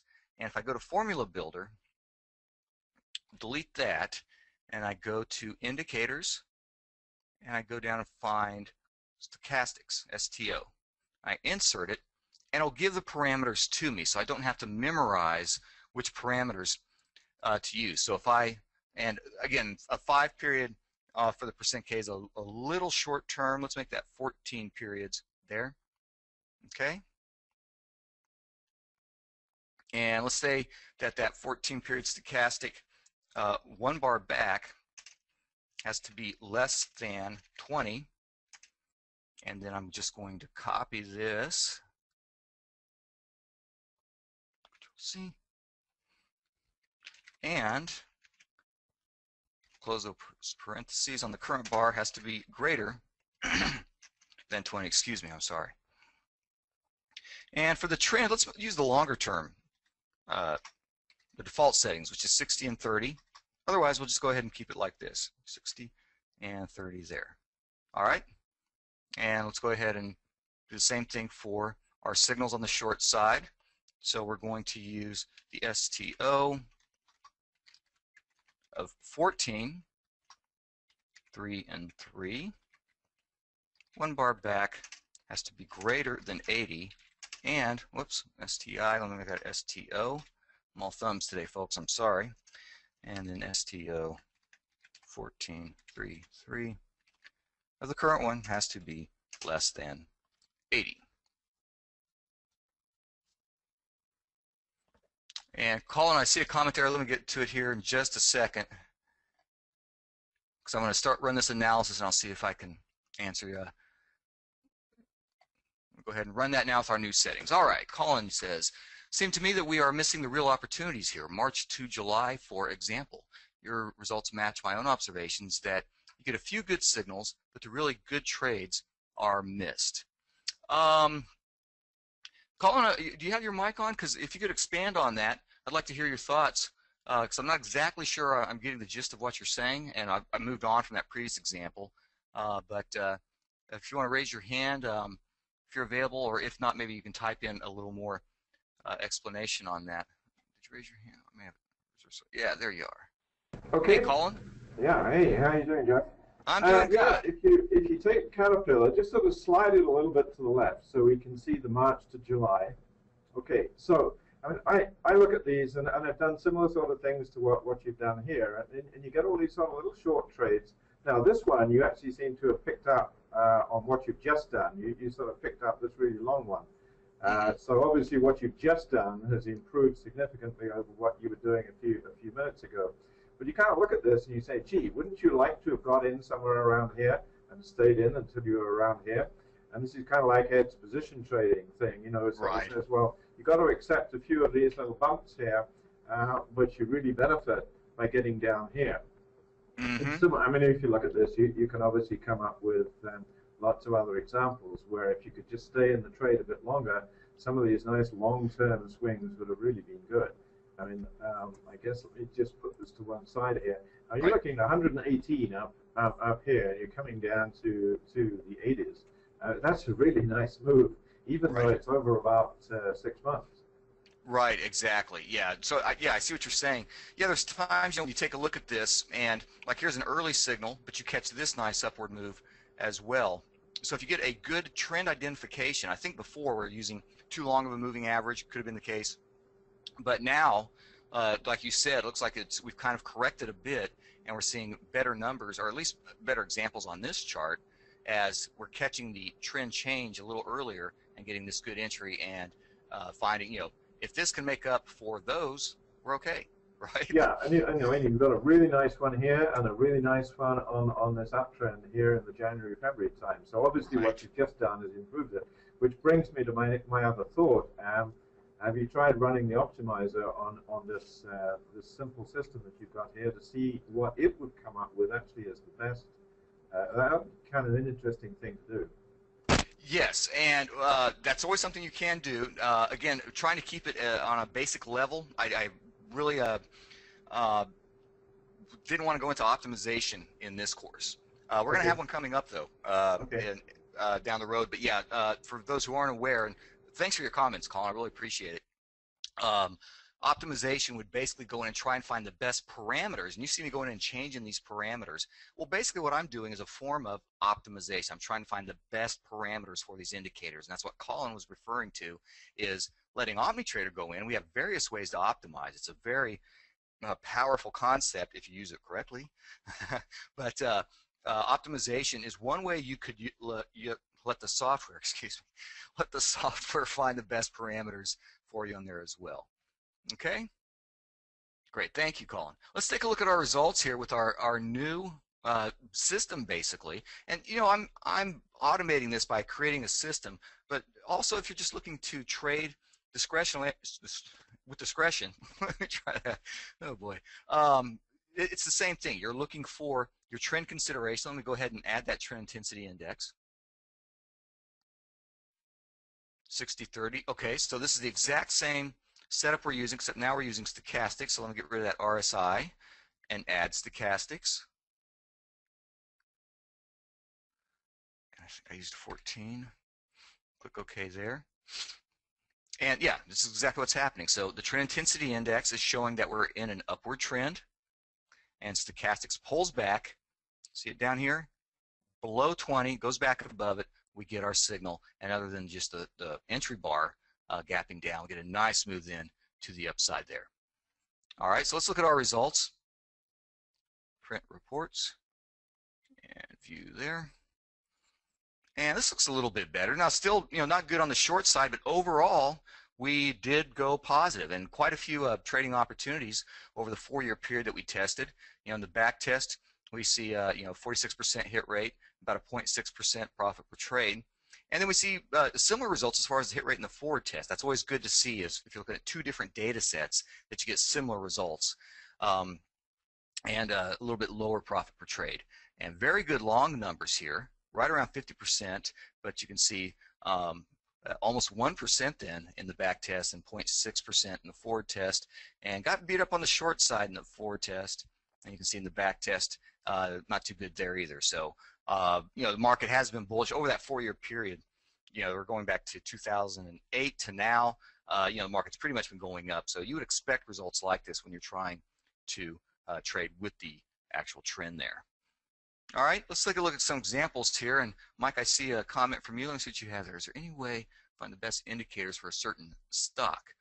Uh, there's a way to do that. Um, or a roundabout way to do that, Mike. He says, is, uh, let me repeat that because I kind of mumbled it. He says, is there any way to find the best indicators for a certain stock? Let me show you, I told you I was going to talk, uh, show you the uh, reversal strategy. And this is, you know, when you first bought OmniTrader, however many years ago, and it had three strategies that were provided, and we had breakout, trending, and reversal. Well, I think far and away, I know mine, and a lot of people have given me feedback that uh, their favorite strategy is the reversal strategy. And what it's doing is it's using 35 different indicator-based systems in order to get consensus on whether or not we have a reversal opportunity. And then it votes on those systems. So it looks at how many systems have fired and it votes on them. And this is on a symbol by symbol basis. And so if I open up the system block here, and I'm going to just show the enabled ones, and let me go ahead and expand this. Hopefully that type is big enough to where you can see. What do you see there? Well, you see a lot of CCIs. You see a MACD and a MACM, which is uh, using the trigger line. We see a price rate of change. That's a momentum indicator. There's our RSI. We got three of those in there. There's stochastics. You see a Williams percent R. We talked about that one earlier today. A lot of the uh, momentum indicators are used in this strategy. So you say, well, wait a minute. Isn't this multi-collinearity? Yes, it is it is a, a, a bit of multi-collinearity because we're looking at the same indicators uh, or the same class of indicators for the most part. But we're also looking at different ways to trade them. We're looking at divergence. So we have systems that do find divergence. Now, uh, they're not the, uh, let me find a nice way to say this. Uh, I'll just be honest. They're not the best at finding really good divergence, but they do find divergence. Uh, we actually have better uh, divergence uh, uh, indication in a volume systems plug plugin that we just volume systems 2.0 we did a couple years ago we improved the divergence there this divergence is kind of old uh, but it's okay uh, but you can see it's voting so we're not um, strictly uh, relying on it. But we're also using a peak. So instead of looking for a crossover, we're looking for a peak. All right. And then let's look at RSI. So there's crossover, there's divergence, there's a peak. So it's three different ways of looking at the same indicator to get our um, signal. And then Omnitrader will go in and vote for those. Now, you could probably use one of these and get similar results to the reversal strategy, but the voting process is saying, hey, multiple indicators in the same class, for the most part, are seeing that this is a good overbought or oversold opportunity. And so that'll go through and it'll basically vote on each different stock in your list as you apply it. And it'll find the best systems uh, based off performance uh, in order to generate a signal. So that's one way, it's a roundabout way, like I said, Mike, to find the best indicators for certain stocks.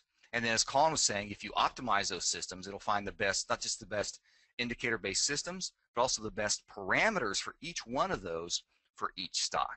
Um, so, but again, we'll cover optimization in the second half of our OTU uh, courses coming up in 2013. Good question, Mike.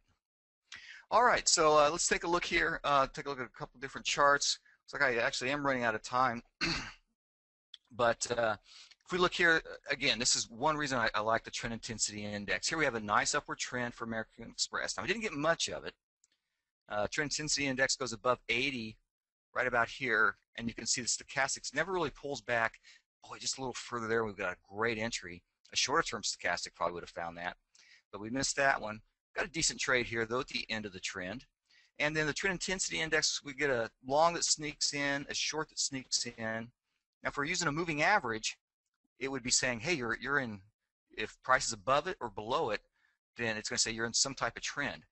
The trend intensity index, see here, none of this oversold or overbought stuff gets through because it's staying in between these levels. The trend's not strong enough. The longer term trend is not strong enough to allow for these signals to actually come through. All right. So something else you could do. Let's let's take a look at our results again real quick. I'll be quicker this time. starting to feel my oats now. okay, so we had a, about a 45% hit rate, about a half percent profit per trade. Okay, great. That's close enough. Let's go ahead now and change our signal generation method and it's just easier to use these momentum indicators. But we can see, you know, if there's a difference uh, on these. How about, um, you know, 45% hit rate and we saw a half percent profit per trade. What if we go now to a, a very short-term RSI of six periods? How about that, huh? And one bar back has to be less than 20, and an RSI of six periods the current bar has to be greater than 20. We'll keep the same trend consideration. So now we're just comparing our signal generation. Go in here and we'll change that. RSI, whoop, six periods, one bar back. This is for shorts has to be greater than 80 and an RSI of six periods has to be less than 80. Hopefully I typed those in right. Got my glasses on, everything's looking good. Click OK. Let's go ahead and run our analysis now. You can already see with that short period RSI, I'll plot it here afterwards, but we caught that little pullback the stochastic missed, missed because we're using a faster uh, uh, indicator. Now the RSI isn't necessarily faster, but we're using a lower periodicity or a, a lower period calculation, which makes it faster, right? Uh, now it's also prone to more prone to whipsaws when you do that, but we'll see what these results look like as it runs through. Okay, and it's done. I'm gonna go ahead and take the stochastic off because it's not, we're not using it, and plot that six period RSI. Relative strength index of six. Got to see it. There we go. All right, so there's our, there's our system. Let's look at our results. Print reports, view, and this looks pretty similar, doesn't it? 45%, uh, except I see one big difference. 45%, uh, you know, 45%, uh, maybe a little higher here on the profit per trade, a little higher here. Uh, very consistent as far as the longs. I think we had a little bit better performance uh, here in the forward test, but this is where it really gets better. Look at the shorts. It's green. Our back test shows similar results almost to the uh, what we were seeing with the longs. So that's pretty impressive there. And then if we look at our forward test, it eked out a gain. It's always nice to see green regardless of uh, how much it made. So uh, not the biggest uh, gainer there, but you can see that this was profitable long and short, back and forward test. Let's take a look at the charts, see if we like this combination any better. How about Cisco? Oh, this is this is nice here. Right here, you see the trend intensity index goes above 80 at this point. So now what we're looking for is the RSI to fall below, uh, I said 20, so it's going to be more extreme than that 30. And you can see here we have an extensive pullback, a nice short-term move to the upside. Here's a better example, right? We still have a very strong upward trend. Look how good trend intensity index is pretty much cutting through this noise and just saying, no, we're trending upward even though we have this noise going around. And then there's a pullback on the RSI through 20. Again, we're looking for it to go further than the 30 that we have plotted. Has to go through 20, come back up. Nice move to the upside. We get to top it off with another profitable trade here in March of 2012 on Cisco. Exact same conditions. Strong upward trend, a, a significant pullback on the indicator, giving us a good oversold opportunity, and we can get in for a you know nice gain in just a month here, right? And you can see that now moving ahead here, the trend intensity index just begins to fall away there, and we get a signal. Now we could look at a trend intensity index saying, well, you know what? It's got to be pegged. It has to be greater than 99 in order to get a long signal. We'd avoid this type of, of uh, condition. There's always give and take with that type of stuff. We move now at gap down. Cisco pull, pulls back. The trend intensity index falls below 20. And you can see then we get the stochastic moving above 80 or I'm sorry, RSI above 80, pulling back. Didn't make a whole lot there, but that's not the worst opportunity. And again, there's the end of that trend. And that's one of those things that just happens on these. It says it's overbought, but it's actually beginning to trend upward. Really hard to tell if that's the right edge. Let's move that over there. So if that's the bar you're seeing, actually, wouldn't be seeing those two green ones. Let me zoom in a bit. Oh, pretend I can't see that green one. I can't get it to line up, but this looks like a pretty good short opportunity in a downward trend, doesn't it? Didn't work out, stops out. That's all right. Look for a better opportunity moving ahead. All right. So there's you know a few examples of using these uh, basic strategies and the all longs and all shorts in order to go in and just try different combinations of indicators from different classes for the most part in order to find um, a good combination that fits your type of trading. So I hope that was helpful as far as an exercise. And we have about five minutes here where I can take a couple of questions uh, before we wrap it up for today. And feel free to raise your hand uh, or you can type in a question if you would like to as well. Or if you have suggestions, if there's a certain combination that uh, you like, um, you know, we can talk about that. Uh, or even just one indicator. I know a lot of people. Uh, I had a guy who was telling me, what was that indicator he's telling about? Oh, he's just swearing uh, up and down that this is the indicator. It was it was the one, and uh, I can't remember which one it was, uh, but uh, uh, he had found something that really worked for him, and he was able to uh, apply it with discretion to trading in order to profit in the markets. And if you're new at this, hopefully going through the previous two sessions and then looking at the practical application in this session, now maybe you have an idea of which type of indicators you want to use in order to find your trading opportunities. All right, well, I'm not seeing a whole lot of uh, questions here, and uh, this is actually going to be uh, my last session uh, for the uh, 2012, and then we'll start it off again in 2013 with new courses. We'll release our new schedule here uh, in the next couple weeks. I'm trying to get it out before Thanksgiving, but if that doesn't happen, it'll be shortly right after. Uh, but I uh, really enjoyed the last six months with you folks, and uh, hopefully you found this as rewarding as I have. It's just been a, a great experience for us as far as these courses. Jeremy Williams will start the portfolio simulation course for those of you who are interested in analyzing uh, systems and allocation methods using portfolio simulation. He will start that here in a couple of weeks. That will be our last course of 2012. All right, before I hand over to Ryan, just want to say, since this is my last time talking to you as we head into the end of the year, you all have a great holiday season, and I will see you in 2013. All right, Ryan, I'm going to take it over now.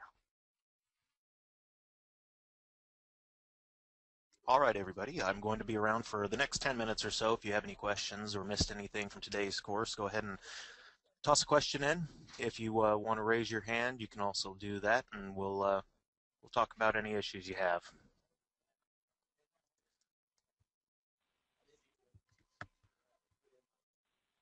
Lewis, you're on. You have a question?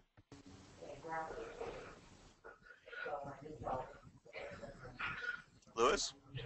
Yes, uh, I had a question on the divergence. At what point uh, are you going to consider the divergence uh, should be thought about in a way that maybe you shouldn't watch your signal?